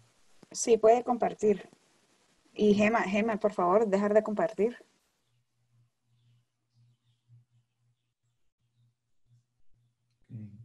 Vamos a ver. Creo que por acá ya es visible la presentación como tal. Ok. Vamos a ponerla. ¿Pueden ver todos la presentación, sí? Sí se ve, ingeniero. Perfecto. Bien. Perfecto, genial. Bien, eh, un poco lo que quería compartir con ustedes el día de hoy y por solicitud de Gema es eh, ver un poco, pues, qué estamos haciendo aquí en Costa Rica con respecto al uso de herbicidas permergentes, un poco el preámbulo que tenemos con respecto a la parte de malezas. Y, a lo largo de toda la presentación ir hablando un poco sobre cómo todas estas, eh, pues, prácticas que hemos realizado en el tiempo, sobre todo con respecto a lo que es control químico, nos ha ido llevando a todos los cambios de dinámica poblacional eh, a lo largo de la producción de, arroz en, lo que hemos tenido en los últimos prácticamente 40 o 50 años acá en el país. Bien, a manera de introducción, voy, a presentarles a continuación algunas de las eh, malezas más importantes que tenemos asociadas acá a, a los agroecosistemas de Costa Rica no pretendo cubrirlas todas ni, poderlas ver todas. Sin embargo, obviamente van a ver que la selección que he hecho tiene un, propósito, que vamos a verlo más eh, a continuación. Obviamente van a ir variando dependiendo del sistema, si es inundado o es de secano. Y su distribución a nivel de Costa Rica es bastante amplio. De las veces que he visitado eh, por allá en Nicaragua eh, y que he estado justamente en la parte con, con arroz, creo que la gran mayoría de las que vamos a ver por acá están justamente relacionadas allá también a los sistemas que tenemos de arroz en Nicaragua. Por mucho, y yo creo que una de las malezas que más dolor de cabeza nos dan en el sistema, Equinocloa colona como tal, en el caso de Costa Rica, no tenemos otra, otra equinocloa que esté asociada como tal al, al, sistema, por dicha. En otras latitudes, y creo que, que tampoco en Nicaragua, existe otras especies como Equinocloa cruz gali o Equinocloa cruz pavonis, que sigue en otras latitudes más hacia el norte o hacia el sur, tienden a ser siempre un problema eh, con el asocio de esto y que vamos a hablar a continuación o más adelante de ella en relación con todo lo que es el tema de la resistencia de esta maleza, los herbicidas que usamos normalmente en arroz. Iscaemon rugosum, y que dicho sea de paso, eh, Gema me comentó que parte de los cambios que han estado sucediendo un poco también allá en Nicaragua con respecto a la dinámica poblacional es que eh, se ha logrado tener un buen control de Quinocora colona, pero surge justamente Iscaemon rugosum como una maleza importante a manejar. Eh, vamos a ver como preámbulo, como, como explicación al respecto. La, la dinámica poblacional de las malezas no es algo rígido ni estético en, el tiempo, sino que ella justamente va a ir variando y el factor principal de variación de las mismas va a ser justamente el hecho de que las prácticas que realizamos y obviamente la aplicación de herbicidas es una de las que más impacta a esta dinámica poblacional. Y que, vamos a ver, podemos tener una lista de 20 especies o más, pero digamos que de 20 las más importantes que casi siempre están relacionándose en un lote específico o una finca en particular. Y cuando logramos realmente controlar la primera, la mantenemos en raya, no es que, uy, qué bien, ya, y todo se quedó ahí, sino que la número 2, la 3, la 5 o la 20 de esa lista puede tomar el sitio de ese nicho ecológico que estamos dejando libre a la hora de poder hacer un manejo racional de estas plantas. Entonces, ese cambio, esa dinámica es siempre constante. Y lo habrán notado ustedes, señores, que en un ciclo ustedes dicen, bueno, ahí, en este ciclo eh, pues mantuve a raya tal maleza, pero me sale otra. Y el siguiente ciclo eso cambia.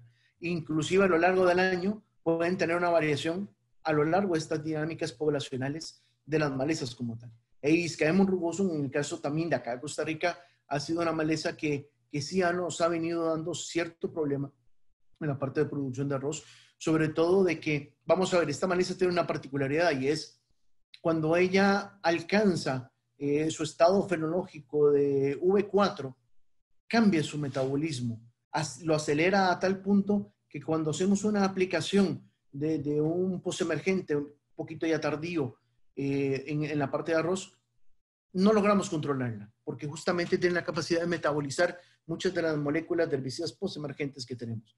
Entonces, si queremos realizar un manejo racional de Scamon rugosum, tenemos que controlarla cuando esta maleza esté por debajo de las cuatro hojas, preferiblemente de tres para abajo. Entonces, de ahí también la importancia del uso de, preemergentes para no solamente esta maleza, sino todas, pero ciertamente Iscaemon es muy sensible por este punto que les, que les acabo de comentar. Vamos a ver, no, no sé, por alguna razón no, no logro eh, ver, digamos, las preguntas o así. En un momento dado, eh, le agradecería a, a Silvia o Mauricio que si en algún momento hay alguna pregunta, pues me la hagan eh, saber a través del audio o me la lean y yo con todo gusto voy a, a, contestarla en la medida de las posibilidades. Así es, pibe. Vamos a estar pendientes y, cualquier cosa interrumpimos para, para, hacer la pregunta. Perfecto. No, no, se preocupen, no será ninguna interrupción. Más bien, yo le decía, Jaime, eh, en, en, la marcha vamos haciendo las preguntas con toda la confianza, por favor. Bien. Leptocloa escabra, que junto con Leptocloa panicoides ha sido, digamos, que las especies de leptocloas que más se nos han estado asociando a arroz, eh, sobre todo a arroz inundado. Eh, leptocloa panicia o vamos a ver Leptocloa filiformis, como en algún momento también se le conoció eh, más, más antiguamente, se asocian más a arroces de secano, pero estas dos especies, tanto Leptocloa panicoides como Leptocloa escabra, sí se están asociando mucho, sobre todo a arroces con, con riego, favorecidos con riego o inundación pues sí soportan bastante bien esta condición. Leucina indica que, obvio, más hacia arroces de secano no soporta las condiciones de inundación que se están presentando, digamos, eh, normalmente acá en el país. Ciperus iria, eh, junto con las otras ciperáceas que voy a, presentar a continuación, son tal vez las más frecuentes en, los sistemas de arroz acá en el país. Lo que es Ciperus iria aguanta muy bien la parte de inundación, así como ciperos esculentos, que a pesar de que forman coquito y todo, sí tienen la capacidad de soportar bastante bien la lámina, no así ciperos rotundus, que tiende a más bien a ser más bien especies desde de la parte de, arroces de secano. Ciperus odoratus sí soporta bastante bien inundación. Limnocaris flava es prácticamente una planta que más bien está adaptada a los sistemas inundados. No la encontramos en arroces de secano porque podremos decir prácticamente es una planta acuática de medios de suelos muy saturados, suelos pesados, pero la encontramos con facilidad también en los sistemas inundados, en canales de drenaje o de riego, en los sistemas de arroz. Y esfenoclasa hilénica, que creo es la última de esta pequeña lista que quería presentarles a manera de introducción, que también se comporta prácticamente como una, una maleza acuática, inclusive en el caso de Costa Rica, esfenoclea nos, es una maleza que nos sale de la mitad del ciclo hacia el final del cultivo. Entonces, contaminándonos prácticamente a veces los campos a la hora de, la, de la cosecha y ciertamente dificultándola debido a que pues tiene un tallo muy fibroso que tiende, si no la eliminamos antes de, eficientemente antes de la, de la cosecha, puede traernos un problema a la hora de atascar las mismas eh, cosechadoras y darnos un problema al respecto. Ahora, ¿qué tienen en común estas especies que acabo de presentarles? Pues ustedes dirán, bueno, y vamos a ver, eh, profesor, hay, algunas otras especies que también son importantes, una Caperonia palustris, los, los vigias, que son varias que se, que se asocian al, al sistema, algunas malváceas, algunas euforbiáceas, eh, sobre todo en sistemas de secano que pueden estar apareciendo. No las he mencionado porque estas especies que acabo de presentarles tienen algo en común entre ellas, y es que a nivel global tienen resistencia a los herbicidas. Han sido reportadas en alguna parte del mundo, inclusive algunas, como lo vamos a ver ahora más adelante en el caso particular de Costa Rica, en donde ya sabemos y conocemos que ellas son resistentes a, nuestros, a nuestros sistemas. Son ciertamente las especies que más comúnmente estamos acostumbrados a ver y no sé cuántos de ustedes ya estaban familiarizados o tenían la información de que estas especies poseen esa resistencia. Obviamente el manejo químico eh, es de tremenda importancia para la parte de producción de arroz, sobre todo en grandes extensiones, porque vamos a ver, unos manejos manuales, etcétera, como se podrían hacer en otras latitudes, pues para nuestras condiciones, en el caso particular de Nicaragua y Costa Rica, no son factibles para, para poderse realizar. Pero ciertamente desconocemos de cierta información clave que me encantó ver un poco que, justamente la, la, charla técnica de, la ingeniera Gema eh, va enfocada hacia poco a poco, siempre dando esa parte técnica esencial para ustedes, productores, que están relacionados con esta parte, que es información que debemos de manejar eh, no sé, casi como el número de celular o el número de, identificación, ¿no? Que debemos de conocerla bien para poder tomar las decisiones acertadas acerca justamente del uso de los herbicidas. Eh, lo decía Gemma en su introducción y me gustó mucho eh, quitarnos de la idea que el hecho de aplicar un herbicida es algo fácil. Vamos a ver, puede que la función, la práctica de echar el herbicida en una tanqueta, en un tractor, en una avioneta en una bomba de aplicación sea fácil y la misma realización de la obra pero no así la decisión técnica que está detrás de tomar esa decisión. Y hay dos aspectos para mí importantes que tienen que ver justamente con esa falta de información y que es la que ha conllevado justamente al mal uso de los herbicidas, generando, a fin de cuentas, tal vez eh, la, peor herencia que, que, hemos tenido que darle a las futuras generaciones y que también nos toca lidiarla a nosotros, que es la resistencia a los herbicidas, lo cual agrava el problema de la producción, porque vamos a ver, una de las cosas que nos han ido empujando eh, hacia el uso de preemergentes es que muchos de los herbicidas postemergentes que mencionaba ahora Gema, porque realmente la lista de Nicaragua y Costa Rica realmente es muy parecida, eh, a nivel de postemergentes eh, ya tenemos esos reportes de, de, resistencias. Y aunque, vamos a ver, el reportar una maleza como resistente a nivel global y científicamente comprobado conlleva la realización de un protocolo muy estricto y exigente. Eh, ya hay malezas que uno en el campo puede ir viendo que escapan y escapan y escapan. Y más bien los invitaría a, los colegas allá, a Gema y, a toda la, parte de CISAGRO, igual a los productores, que si en algún momento se ven ese tipo de poblaciones de, estas plantas que inclusive puedan reportarlas a, los especialistas y que de alguna manera se pudiera hacer el esfuerzo de poder hacer estos protocolos para poder realmente eh, poder tener la información clave de decir si son resistentes o no para poder justamente realizar el manejo. Pero vamos a ver, eso nos pasa cuando ya tenemos, tenemos la resistencia encima. ¿Qué podemos hacer para evitarla o para por lo menos prolongar lo más posible la aparición de esos biotipos resistentes? Recordemos que el fenómeno de la resistencia es, es un fenómeno que se da de individuos dentro de una especie, es decir, de mutantes dentro de una especie que tienen la capacidad de sobrevivir a, un evento fuera de lo normal como es la aplicación de un, herbicida, porque la aplicación de un herbicida obviamente no es un evento de natura, no es algo natural que se presenta, sino que obviamente es un, control creado por nosotros los seres humanos, a la cual la planta, pues en la gran mayoría de una población normal, tiende a ser susceptible ante él.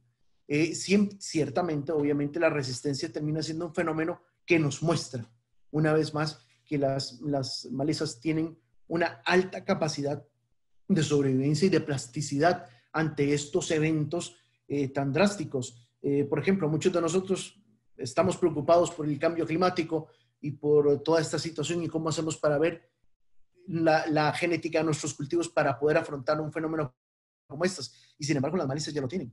Ya están muchas de ellas con un backup genético que les permite poder justamente hacerle frente a esto.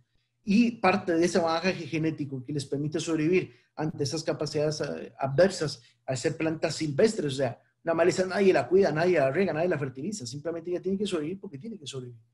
Y ese, ese backup que justamente tiene es parte justamente lo que las hace o crea este fenómeno en ellas de la resistencia, que igual, no, una parte de la presentación de, que, me perdí de Gema porque no logré escucharla, eh, porque me falló mi internet por acá en Costa Rica. Pero vamos a ver, la resistencia no es el herbicida quien crea la resistencia. La resistencia ya está innata en estos individuos, en estos mutantes.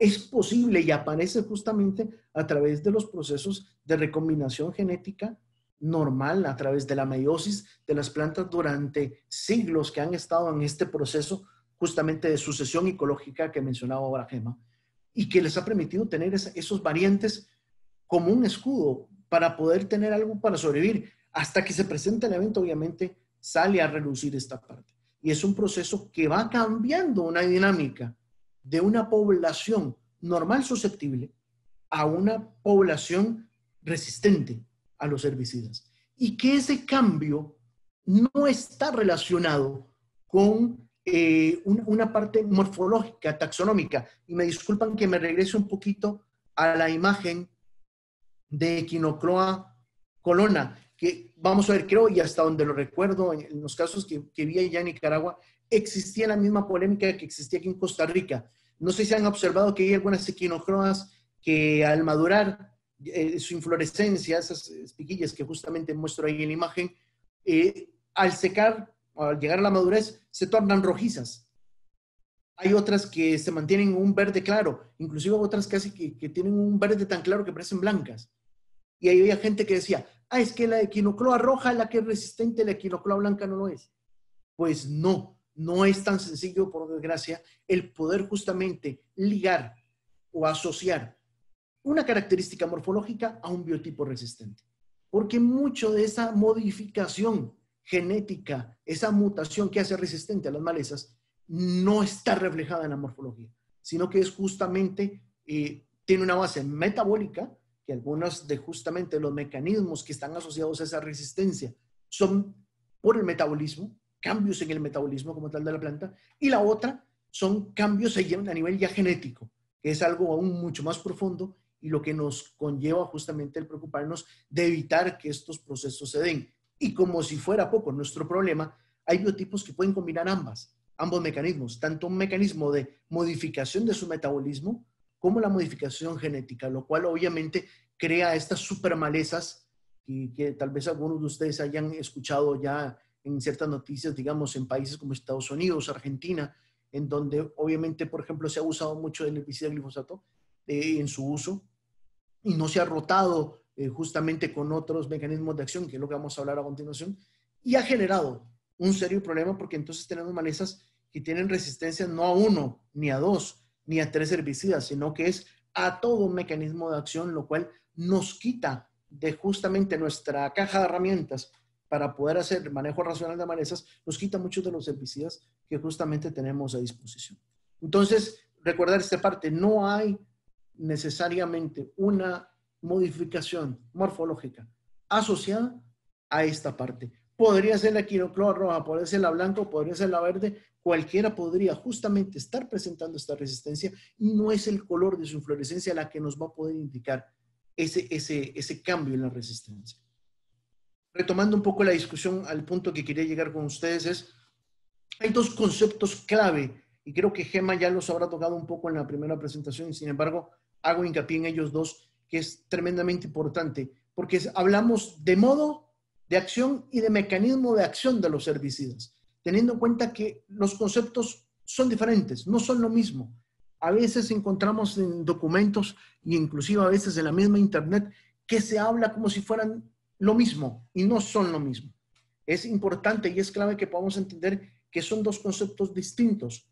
En el caso del modo de acción, como lo presento acá en la lámina, es toda la secuencia de eventos, todos los eventos, desde que el herbicida ingresa en la planta, sea el modo que ingrese, sea por absorción radical, sea por la absorción del follaje a través de la cutícula de, la parte de, las hojas, hasta su translocación al sitio de acción, obviamente la modificación o justamente la, la intervención del herbicida en ese sitio de acción, que es lo que causa la muerte de la planta, y todos los eventos que van a conllevar a la muerte de la planta.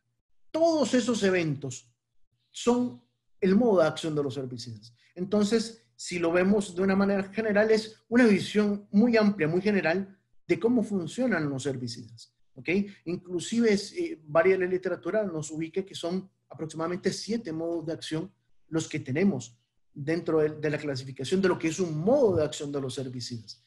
El, modo de acción de los herbicidas nos podría importar eh, por ejemplo, y es algo que está, ha dado mucho de qué hablar eh, en el caso de, del glifosato actualmente, de, todo el problema que lleva eh, los metabolitos secundarios de la degradación del glifosato posteriormente, los cuales justamente forman un, metabolito que es más estable en el tiempo y todos esos eventos se dan después de que ha pasado por el sitio de acción y es parte del modo de acción como tal. Siempre nos habíamos centrado solamente en el mecanismo de acción del herbicida el cual obviamente era de un bajo impacto ambiental, eh, porque vamos a ver, la, enzima en donde actúa el glifosato, eh, que es la EPSP, eh, esta enzima, la enolpirubil chiquimato fosfato sintetasa, no se encuentra en los mamíferos, o sea, ningún mamífero, ni los seres humanos, ni las aves, ni los peces, ni nadie de estos organismos tiene esta, esta enzima dentro de su proceso. Solamente justamente las plantas y algunos hongos del suelo tienen esta ruta metabólica del ácido chiquímico, que es donde se encuentra esta enzima. Y por eso la hacía muy segura. Por eso la etiqueta verde, por eso todo el registro es muy bien. Pero el modo de acción también nos explica qué pasa en esa secuencia de eventos posterior de la aplicación del producto y qué pasa con justamente esos metabolitos secundarios que quedan en el tiempo después también de una manera un poco más amplia y difícil de metabolizarse.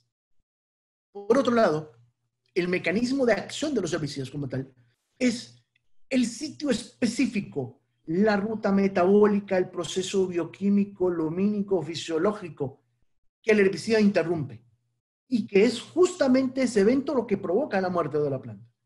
Esa parte específica es la que justamente nos, llama la atención. Ojo, eh, anteriormente hablé de sitio de acción, mecanismo de acción y sitio de acción sí son lo mismo. ¿ok?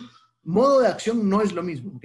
Pero mecanismo y sitio de acción son sinónimos y son lo mismo. Así que si en la literatura lo ven o lo encuentran, son sinónimos que justamente van a estar hablándonos de esta parte de este proceso. Al ser tan específico en este sentido, me permite justamente, y es la clave fundamental para evitar la resistencia, como lo pongo en la última línea, que es rotar los mecanismos de acción de los herbicidas. Teniendo en este, este, punto en claro, y lo voy a mencionar ahora a, manera de colofón y de final de, la presentación,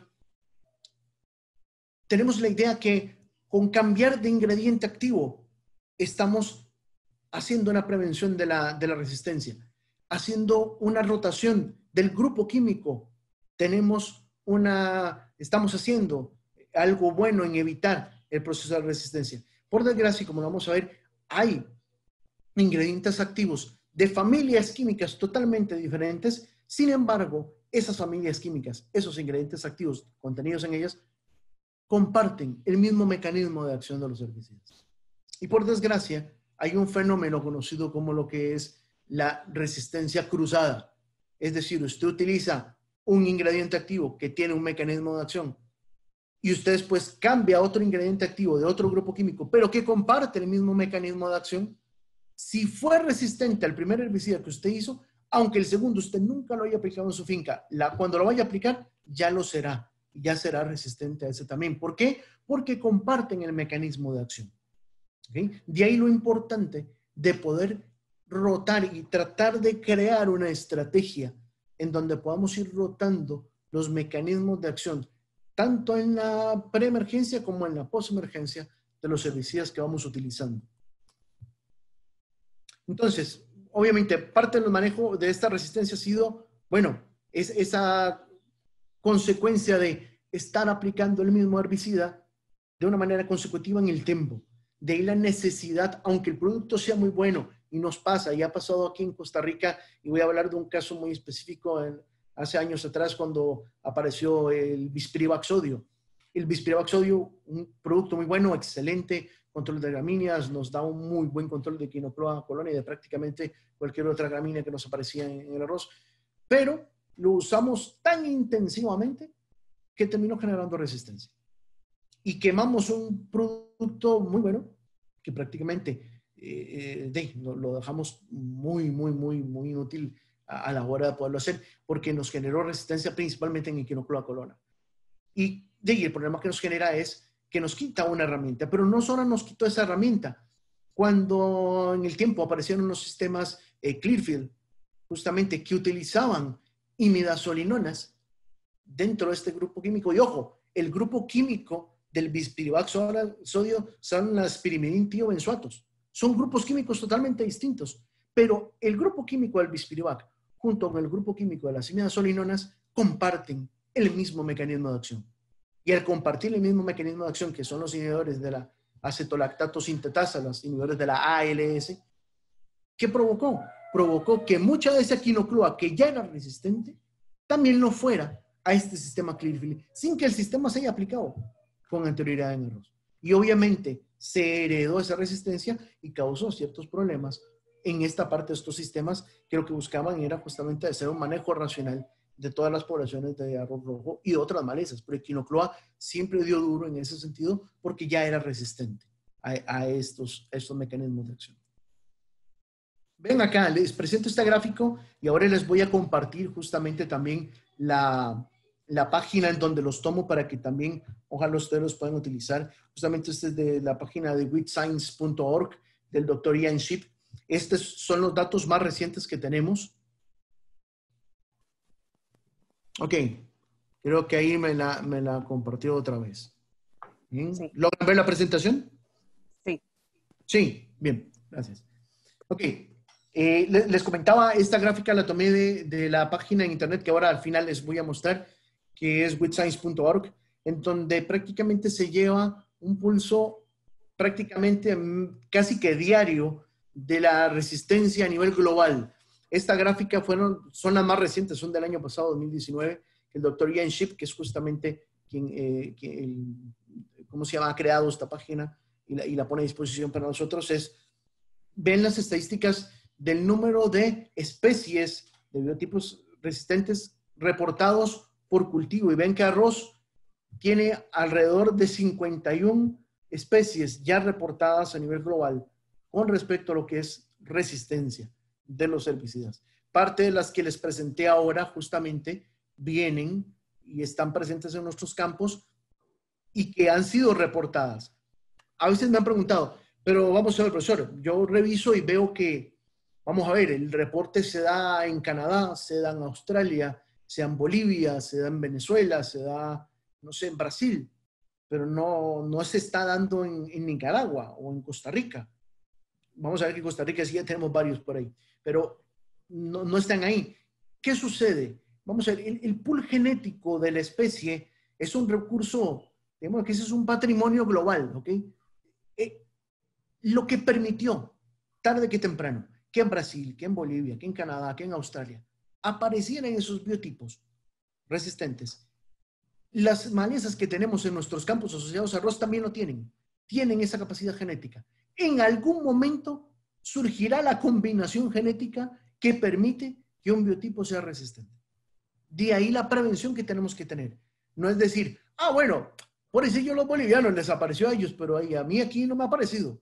No, cuidado. Si no le ha aparecido, tarde que temprano puede aparecer. Si seguimos haciendo un uso constante de los mismos mecanismos de acción de los herbicidas sin rotarlos y sin acudir justamente a estrategias como lo pueden ser el uso de los herbicidas permanentes. En el caso de quinocloa colona, y regreso a la imagen que vemos ahora, en Costa Rica existen cinco reportes de, eh, de, de quinocloa como resistente. A nivel global hay 20. O sea, de, esos 25 son ticos. ¿Okay? 15 más están a nivel global de otros países.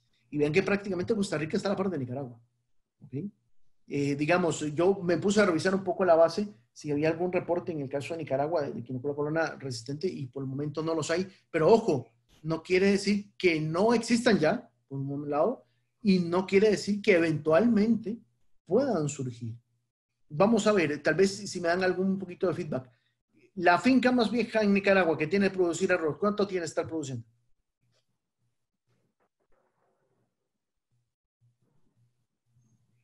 ¿Alguien con un dato o alguna, alguna fecha, algunos años?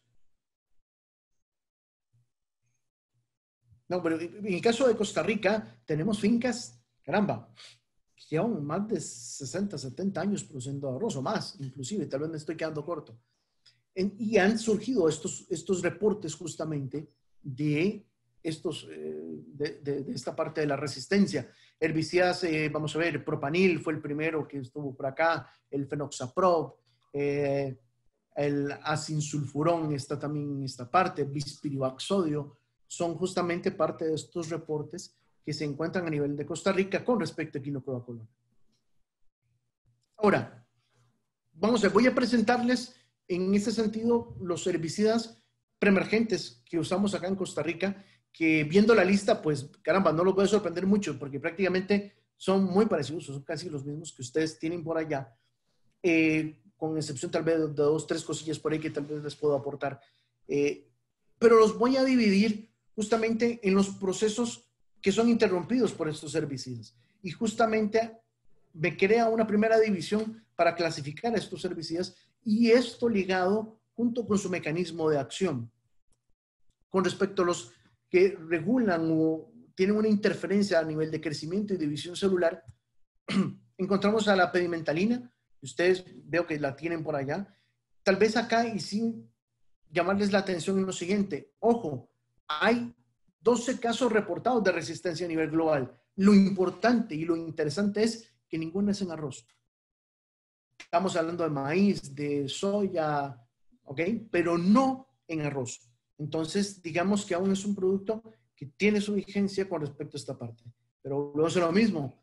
Si es una buena herramienta, no es que la agarremos y le demos y le demos y le demos para poderlo utilizar hasta que justamente generemos esa, esa resistencia. Butaclor.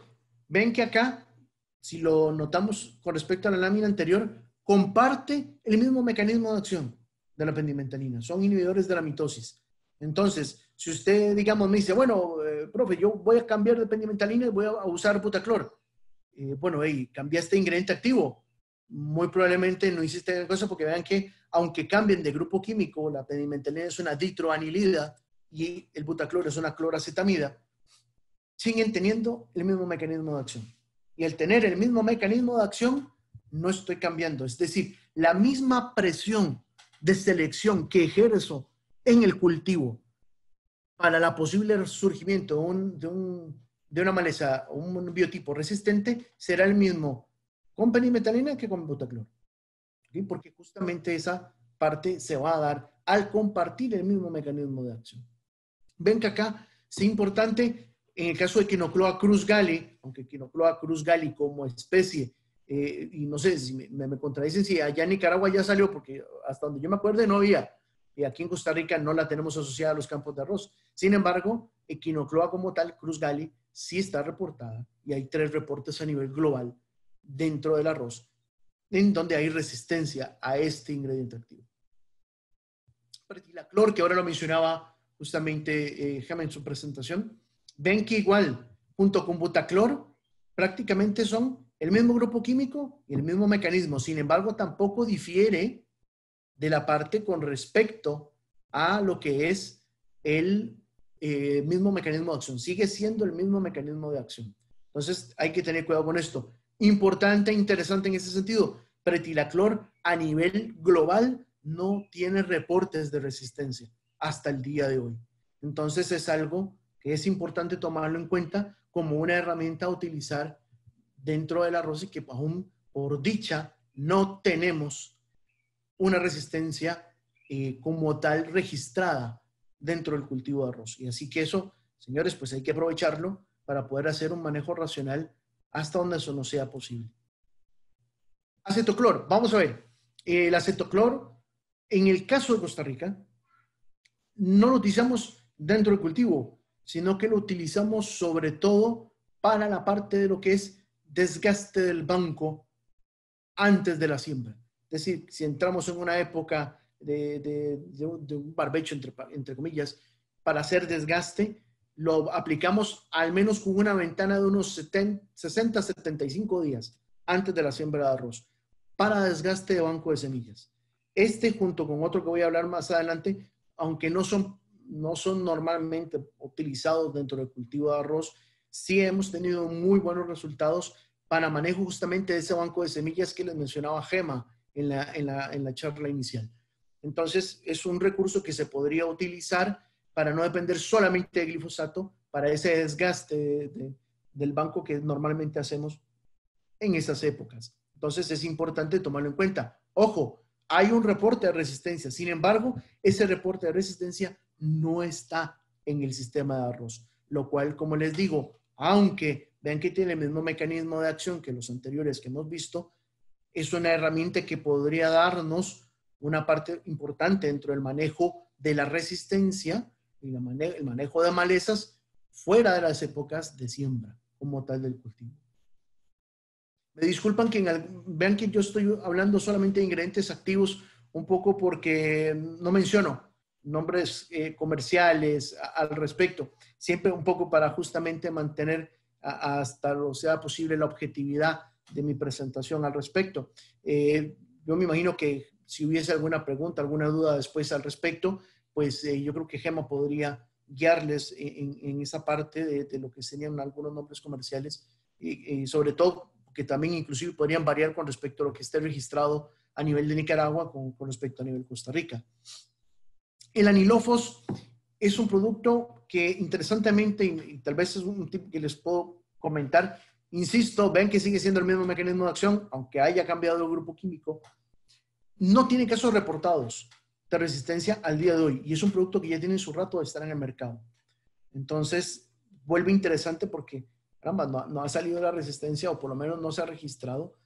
Y me comentaban varios de los colegas eh, muy asociados a la producción acá que han estado haciendo una mezcla de anilofos con bispirivac sodio eh, para justamente tratar de controlar eh, sobre todo las equinocloas o para controlar, por ejemplo, rotboelia. Sobre todo aquí en Costa Rica, la, rotación arroz caña es muy popular, utilizada sobre todo en la parte aquí en norte, en la lado Guanacaste. Y eh, bueno, cuando vienen los lotes justamente de la rotación de, cultivo de caña, vienen con altas presiones de rotboelia. Y si no es inundado, pues obviamente sí tenemos serios problemas de presión de rotboelia. Y se ha visto muy buen control de esa rotboelia justamente. Y también un muy buen control, como les digo, de esa quinocloa que es resistente al bispirivac y que con la mezcla de anilofos se ha dado un control satisfactorio de esa quinocloa. Sinceramente, para mí es muy nueva la mezcla y segundo, no sabría contestar el por qué la, mezcla o esa sinergia entre estos dos herbicidas eh, hacen que haya un buen control con respecto a, esta, a esta equinocloa resistente. Sin embargo, de ahí les paso la, la, opción o el tip para que ustedes inclusive puedan probarlo allá y, que me cuenten más bien cómo les va también allá, porque acá sí lo han utilizado en grandes extensiones en Costa Rica y ha tenido un resultado muy interesante al respecto. Bien, con respecto a procesos lumínicos, vamos a ver que acá cambiamos fuertemente con respecto a lo que es ya el mecanismo de acción. Vean que aquí ya difieren los mecanismos de acción, ya hablamos de inhibidores de la, de la PPO o también nos pueden encontrar como inhibidores de la Protox. En el caso del oxiflorfen. En, en este caso del oxiflorfen, sí, importante en el sentido de que, vamos a ver, lo usamos en preemergencia ciertamente cuando la semilla la usamos boleada, es decir, metemos lámina con inundación, metemos inundación, tenemos la lámina de agua en el terreno, lo aplicamos sobre esa lámina de agua, permitimos que no haya movimiento de esa lámina, o sea, no es que drenamos el lote, más bien dejamos que esa lámina de agua baje al suelo, se seque y después cuando esa lámina ya ha bajado, boleamos la semilla. ¿Por qué? Porque recordar que justamente este herbicida va a bajarnos unos 3, 4 centímetros en el perfil del suelo. Al bajar ese perfil, cuando baja el herbicida, es, nos va a permitir ese control. Y como somos la semilla del boleo, esa semilla del boleo va a entrar justamente a nivel radical. El oxiflorfen no se absorbe a nivel radical, sino que justamente tiene eh, una absorción sobre todo por el coleoptilo de las malezas o el hipocótilo en el caso de las, de las hojas anchas. Entonces, me permite una cierta selectividad. Como vean, que lo pongo ahí, es muy poco la translocación que se da por raíz y eso es lo que me permite que el arroz no se vea afectado por el oxiflorfen, pero sí las malezas que tenemos justamente asociadas en ese momento. Con la salvedad de lo que mencionaba de que tiene que ser boleada y que se, aplique el herbicida en la... En el caso del oxadiargil, es un herbicida que, no sé, por lo que vi en, lo que nos presentó ahora Gema no está por allá en Nicaragua. ¿Es así, eh, Gema? Sí, profe, así es. Eh, eh, no está registrada esa, molécula o no la conocemos en, arroz. profe, tengo una pregunta que hace una, de los, una de las personas que nos están escuchando. Claro, dice, ¿por qué la equinocloa de tallo morado se controla muy bien, pero la equinocloa de tallo pálido amarillo es más agresiva e incontrolable eh, que la, la, hoja es más fina y su floración es helicoidal. Bien, como les comentaba, mm, vamos a ver, para decidir que una especie eh, o un biotipo lo es resistente a los herbicidas, hay que hacer todo un protocolo para poderlo definir. Sin embargo, la parte morfológica, eh, por ejemplo, en Costa Rica nos pasaba, en ciertas partes nos decían, la equinocloa que es morada es la que más bien nos, nos aguanta, nos resiste y la otra, la verdecita o la más blanquita, no la llevamos fácil. Íbamos a otra parte, a otra finca en la misma región o cambiamos de región y nos contaban la historia, pero al revés. Nos decían que la clarita era la que era dificilísima manejar y la morada la era fácil. Entonces, justamente lo que mencionaba ahora al principio, no es una característica morfológica la que le confiere esta parte. Es muy probable, muy probable que algunos de estos, de estas plantas que ustedes no mencionan, sean resistentes. Porque es muy probable, ya hay casos registrados a nivel, de, a nivel global, a nivel de Costa Rica, eh, los hay, tenemos una cercanía geográfica muy grande, entonces es muy probable que exista en ese sentido. Sin embargo, eh, soy claro en, en rectificar el punto, no necesariamente va a haber un asocio, en este caso. En el caso particular que, nos mencionan, les tocó eh, en ese sentido el poder ver ese socio, pero no se sorprendan que en otra región les van a decir lo contrario. Les van a decir que más bien la morada es la que más dura y la, la blanquita es la más resistente o viceversa, ¿ok? Pero, insisto, no está relacionado esa característica de esa pigmentación de, la, de las espiguillas de la inflorescencia con respecto a la resistencia que pueda justamente conferirle esa parte. Tengo otra, otra pregunta para, claro, por supuesto, dice, para, para, cualquiera de los dos. Em, desde el 2019 se ha notado que el propanil 48S está intoxicando a los aplicadores. ¿A qué puede deberse este, este tema? Pues porque la temporada pasada ese se intoxicaron en Malacatoya y ahora se están eh, intoxicando en, en, en que es la otra zona arrocera, pues. Sí, correcto. Recuerdo haber andado por Seba con algún momento. Eh, caramba, Gema, tal vez inclusive, bueno, porque en el caso de Costa Rica no tenemos un reporte de, intoxicaciones con respecto a propanil en ninguna de sus formulaciones al día de hoy, por, el momento. Eh, no sé, Gemma, si vos en, el contexto de Nicaragua tenés algo de información al respecto. Eh, bueno, igual es esto que, está, que se está dando, digamos, o, es un, una, un, creo, un efecto que está pasando, pues. Pero precisamente eh, es probable, no, no tengo la certeza, ¿verdad?, de que sí estén cambiando pues algún solvente o algún compuesto que se esté utilizando en el producto, ¿verdad? Pero también es importante a esa pregunta de, de Andrés Mesa eh, decirle lo que, lo que vimos en la presentación anterior, ¿verdad? Que pueden ser algo otros residuos de productos que están quedando en el tanque de algo otras aplicaciones y al combinarse con propanil, sea eso lo que esté pues eh, causando cierto efecto eh, de toxicidad en, en, una persona, ¿verdad? Eh, y al igual que las plantas, también nosotros los seres humanos nos desintoxicamos y también tenemos el mismo sistema del citocromo eh, y probablemente pues sí está afectando el tema de, de, de, propanil, ¿verdad? Pero sí hay que ver mucho el tema del solvente y como, como lo ven, pues es algo que está pasando con el propanil 48S, no así con el propanil en gránulos dispersables, ¿verdad? Que es el que tenemos, eh, nosotros, la espada, que es libre de esos, ese tipo de solventes. Eh, pero definitivamente, pues puede, es un tema que hay que, hay que ponerle el ojo, ¿verdad? Eso es lo que podría complementar. Perfecto. Gracias. Bien, entonces, para, continuar un poco comentándoles, eh, el oxadiargil y el siguiente ingrediente activo que les voy a hablar estuvieron registrados aquí en Costa Rica para arroz. Sin embargo, eh, la empresa Bayer, que es justamente la dueña de ambas moléculas, recientemente eh, las, las, ha sacado del mercado. Eh, hemos preguntado, etcétera, no nos han dado aún una razón clara del por qué la sacaron. Ciertamente, y sí lo, lo voy a mencionar, entraron, será hace tal vez unos 5 o 6 años atrás, con el fin de buscar manejo de arroz rojo, sobre todo, ¿ok?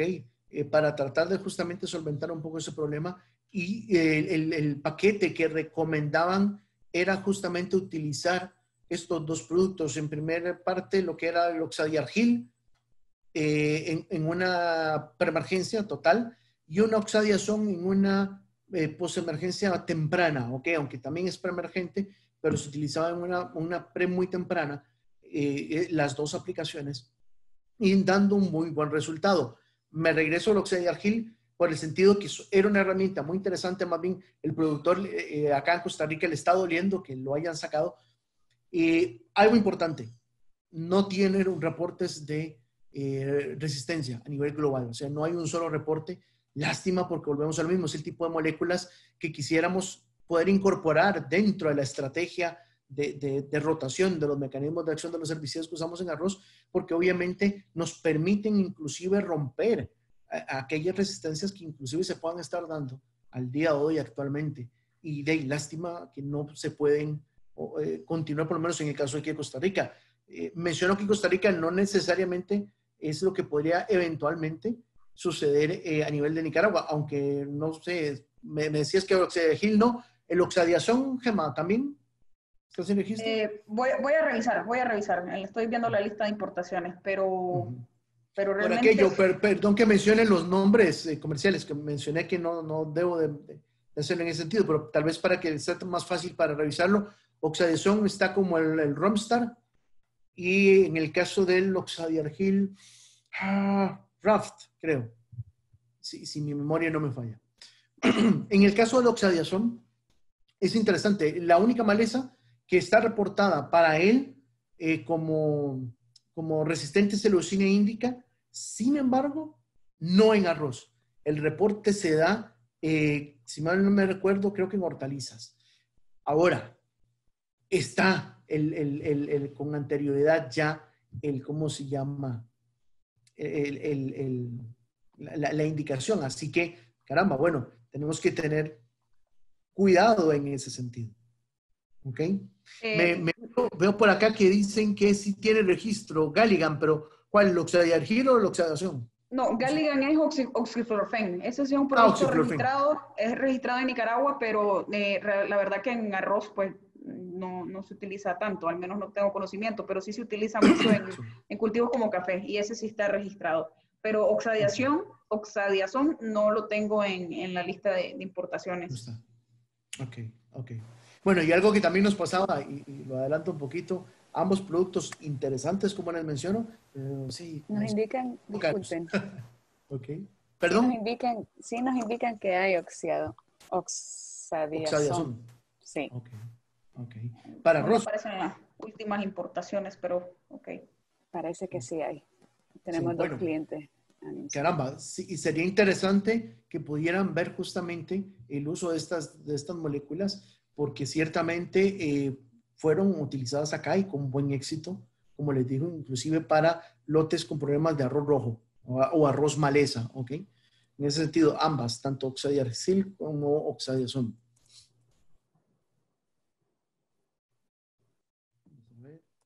Ok, seguimos. Clomazone, que es también una molécula que ustedes ya tienen allá, que es conocida. Ojo, porque aquí sí en el caso hay una Echinoclea gali que sí está registrada como resistente, pero no en arroz.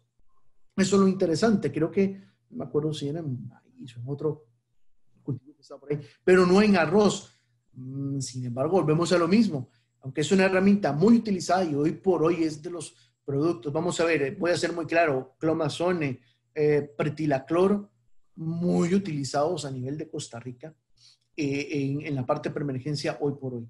Eh, sin embargo, igual, como le hablamos acá a los productores, igual lo comparto con ustedes, es mucho cuidado porque justamente eh, podemos generar resistencia si lo usamos demasiado, eh, ¿cómo se llama?, excesivo eh, en esta parte. Arroz rojo con oxifluorfen interesante. Por lo menos un poco lo, lo, que estábamos, lo hemos utilizado siempre como un preemergente, el oxifluorfen, contestando un poco la, la, pregunta que me hace Gens Aguilar.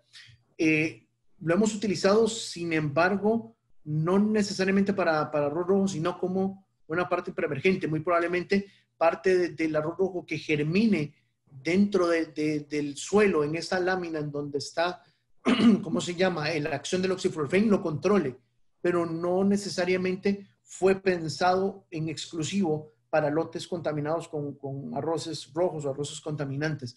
Me imagino que estamos teniendo un control, pero nunca lo hemos enfocado tal vez hacia ese punto. Sería interesante poder hacer alguna prueba al respecto por allá.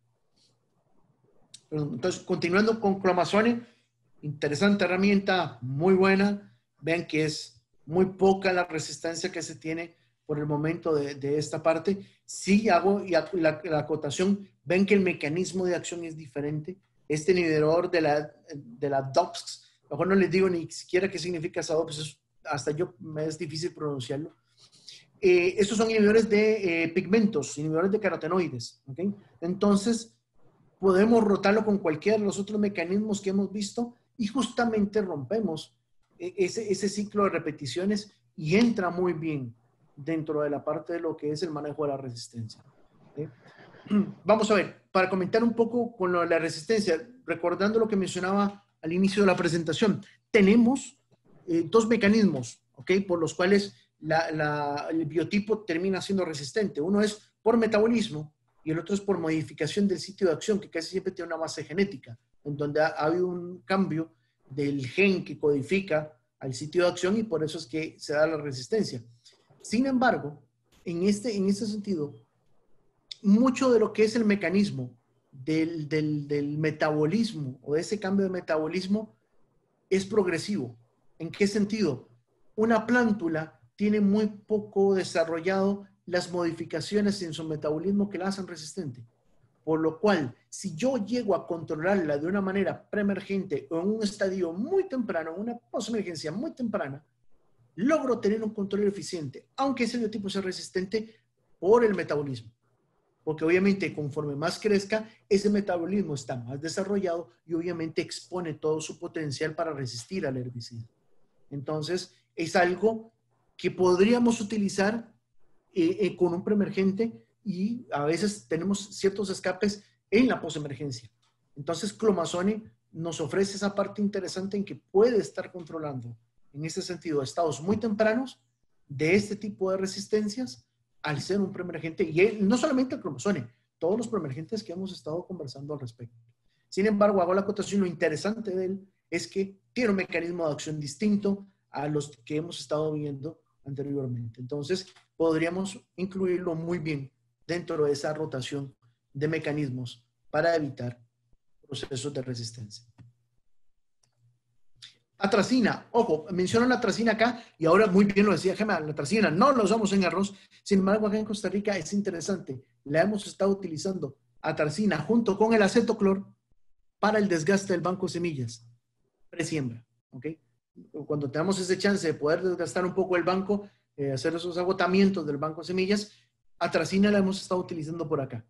Ojo, interesante, es una molécula muy vieja. Eh, vamos a ver, la mayoría de los eh, herbicidas que, son triacinas o inhibidores del fotosistema 2 son moléculas de las más viejas que tenemos en el mercado, de las primeras que salieron allá, caramba, estamos hablando décadas de los 50, 60 del siglo anterior. Sin embargo, aunque tiene muchos reportes de resistencia, como podrán ver ustedes aquí, que dicen 239, pero ¿cómo, ¿cómo se le ocurre a usted eh, recomendarnos algo al respecto? Ninguno de ellos es arroz. Inclusive se dan en malezas que en lo normal no están asociadas al cultivo de arroz. Estamos hablando que muchas de estas resistencias se dan en campos de golf, se dan en soja, se dan en, maíz, se dan en algodón, se dan en otros agroecosistemas. Cuidado, que sé que algodón se produce ya en Nicaragua, ¿verdad? Que habría que ver si, si, podría entrar en conflicto si hay alguna vez alguna rotación arroz-algodón. Sin embargo, la estamos usando para... Perdón, Gemma. No, se, se, producía algodón anteriormente, ya no, ya no, ya no se produce algodón. Ahora solo maní. Bueno, bueno, qué, dicha, no tenemos el conflicto entonces. Y en maní, que hasta donde me recuerde, no hay de esos 239 reportes. Y lo interesante es que en arroz no las hay. Entonces vean que es un herbicida que podremos estar utilizándolo, insisto, no dentro del cultivo, sino en agotamientos presiembra, con anterioridad, junto con el acetoclor, y nos da un muy buen manejo al respecto en mezcla para hacer un poquito más amplio el espectro del manejo que hacemos. ¿ok? Y de metabolismo celular, para ir terminando, prácticamente me quedan dos herbicidas, el pirazosulfurón, que ustedes también lo tienen por allá y que veía que, lo tienen justamente eh, en mezcla con el pretilaclor, ¿es, Gema? Así es, así es, en mezcla. Ven que acá, sí, cuidado, porque tenemos 34 reportes de resistencia y todos ellos en arroz. ¿Ok? Veamos que, eh, tal vez algo que no, no he mencionado al respecto en toda esta parte es eh, uno de los mecanismos de acción más fáciles de, que han aparecido biotipos resistentes ha sido los inhibidores de la ALS, que es justamente el pirazosulfurón uno de ellos. ¿Por qué? Porque resulta que la mutación que le confiere a esos biotipos la resistencia es muy común dentro de las poblaciones eh, normales de malezas. Tan común es que entonces muy rápido aparecieron las resistencias. Prácticamente estamos hablando que en su aparición en los años 1990, cinco años después ya habían, en el 95 ya habían los primeros casos reportados. ¿Por qué? Porque es muy común. No así como, por ejemplo, las resistencias a glifosato u otros que pasaron, caramba, 20 años o más para que aparecieran tarde que temprano. Vamos a ver, por acá tengo una respuesta de eh, Guillermo Raudes. Mm, una pregunta. A la pregunta de Andrés, correcto, sí. Porque los servicios postemergentes que se utilizan para rescate de quinocloa utilizados solo son erráticos y cuando se mezclan con quinclorac o cijalofosbutil funcionan muy bien, incluso cuando se mezclan con propanil. Bien, en el mundo de los herbicidas eh, y, ahí tal vez, que también tú me puedas complementar, existen ciertos, ciertos fenómenos químicos. Uno de ellos es la sinergia. Eh, vamos a ver, tenemos un herbicida que si lo aplicamos solo, pues no solamente tal vez es errático, sino que tal vez no, cumple eh, con cabalidad el, mecanismo. Pero cuando lo mezclamos con otro, tenemos una, una, sinergia. Esa sinergia puede explicarse por ciertas razones bioquímicas, inclusive algunos de ellos ayudan a que el otro herbicida entre más fácil dentro de la planta, que en lo normal solo le costaría mucho ingresar a los, por, por digamos, por las ceras de la, de la, ¿cómo se llama?, de la planta. Muchos de ellos, justamente al ser hidrofílicos, pues les cuesta entrar por la, la cutícula. Entonces, cuando se mezclan con estos otros, digamos que abren un canal de apertura al ingreso en la planta, lo cual hace que el producto entre más rápido inclusive mejor y puedan justamente llegar al sitio de acción. Otros es que justamente les ayudan en su translocación eh, a nivel dentro de la planta, sea, eh, digamos, eh, en, en, los mecanismos que realizan. Y ahí es donde se da esa sinergia. Entonces, sí, muchas de esas mezclas que en algún momento se dan y que vemos que cumplen esa parte, no sé si inclusive en el argot de los herbicidas, en arroz es muy utilizado, que hace que que hablan de que si ya activó el herbicida, ¿verdad? Y que uno de esos activadores es el propanil. ¿Ok? Y ya, ya lo activó. ¿Y cómo lo activó? Bueno, agregué un poco de propanil a la mezcla para justamente tener esa sinergia que se da. en algunos casos está clara esa sinergia, en algunos otros mm, eh, no es tan, tan fácil definirla, Guillermo. Pero ciertamente en la práctica sí están y es, y es como se llama, vigente el hecho. Eh, es como lo mencioné ahora con la mezcla, perdón, Gema, del uh, anilofos con el, con el bispirivac. Bispirivac solo no combate a la equinocolas resistente, no les hace nada. Pero cuando mezclamos con anilofos, la logra controlar. ¿Qué le hace? Porque igual, si solo aplicamos el anilofos, no lo logra controlar tampoco. Es la mezcla entre los dos que genera esa sinergia y que habría que investigarla más ya a, una, a un nivel ya casi bioquímico para poderlo entender mejor. Sí. No, yo, solo quería eh, complementar igual el tema del sinergismo, ¿cierto? Entre, entre esas mezclas. Y precisamente dar, dar un ejemplo claro y de lo que estamos viendo, digamos, ahorita en, en, su pantalla, con el tema del pirazosulfurón, pues que es un herbicida que en Nicaragua eh, hace muchos años, digamos, tal vez se, se, dejó de usar precisamente por este tema de la resistencia en, reportada en arroz. Eh, pero hoy en día, digamos, lo estamos mezclando o lo tenemos en mezcla con, con, el, con el pretilaclor y precisamente estamos viendo eh, ese tipo de sinergias también, ¿verdad? Estamos viendo de que, de que el control de, de las malezas, en este caso anchas y separaciones, que son su fuerte, está haciendo pues un, un efecto eh, sinérgico, digamos, al hacer la mezcla. Entonces, pues pasan, ¿verdad? Por, el tema ya de las rutas metabólicas de cada herbicida y cómo uno puede ayudar al otro a, traslocarse en la planta o, abrir ese canal, ¿verdad? Que, que mencionaba usted. Correcto, perfecto. No, muchas gracias, excelente, sí. Justamente, bueno, un ejemplo más de lo que justamente nos, nos acotaban en la, en la pregunta o en la observación. Vamos a ver. Y para terminar, creo que ese es el último ingrediente activo que tenemos eh, por acá en lo que utilizamos normalmente como preemergentes en arroz, que es el tío Bencarbo. El tío Bencarbo es, vamos, un herbicida también bastante viejito, tiene hace rato de estar en el mercado. Igual hay cinco reportes, eh, todos ellos en especies del género Equinocloa, pero ojo, no en Equinocloa colona. Muchas de las de los reportes que tenemos son en especies como, por ejemplo, eh, Equinocloa orisícola, y otras que se, están, que se dan más, sobre todo hacia la parte asiática, que es justamente donde vienen estos reportes.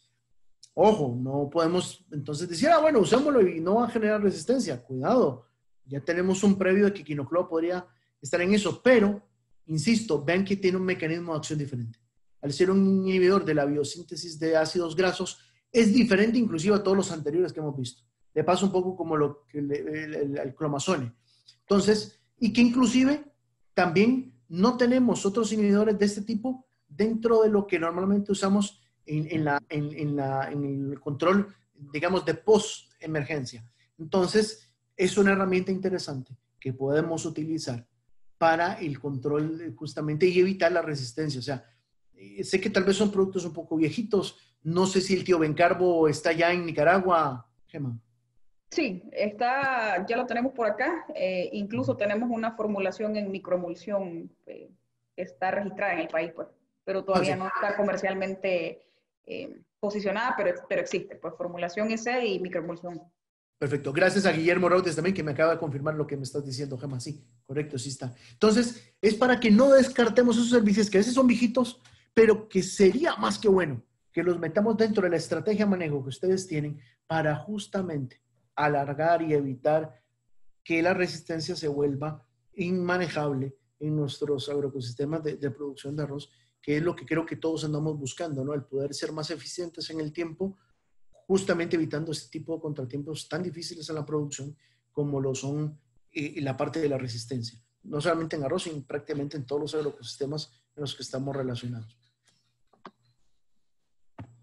Manera de conclusión, igual, lo que tenemos es, para ese manejo de la resistencia, para mí la clave número uno es rotar los mecanismos de acción. Como les decía al inicio, y vuelvo a insistirlo, y por eso lo dejo al inicio, al final también, lo vuelvo a mencionar. Ojo, no es rotar el ingrediente activo, no es rotar el grupo químico, es rotar el mecanismo de acción para que podamos justamente evitar esa parte de la resistencia. Como les decía ahora, sulfonilureas y midazolinona, aunque son grupos químicos distintos, comparten el mismo mecanismo de acción. Por lo cual, yo rotar una sulfonilurea con una midazolinona no gano nada. ¿Por qué? Porque siempre voy a estar ejerciendo la misma presión en el sistema para que estos biotipos puedan surgir. Lo que tenemos que tratar es de justamente rotar esos mecanismos de acción para que evitemos a lo máximo posible la aparición de esta resistencia, o por lo menos mínimo, alargar ese periodo o esa aparición justamente al rotar estos mecanismos de acción.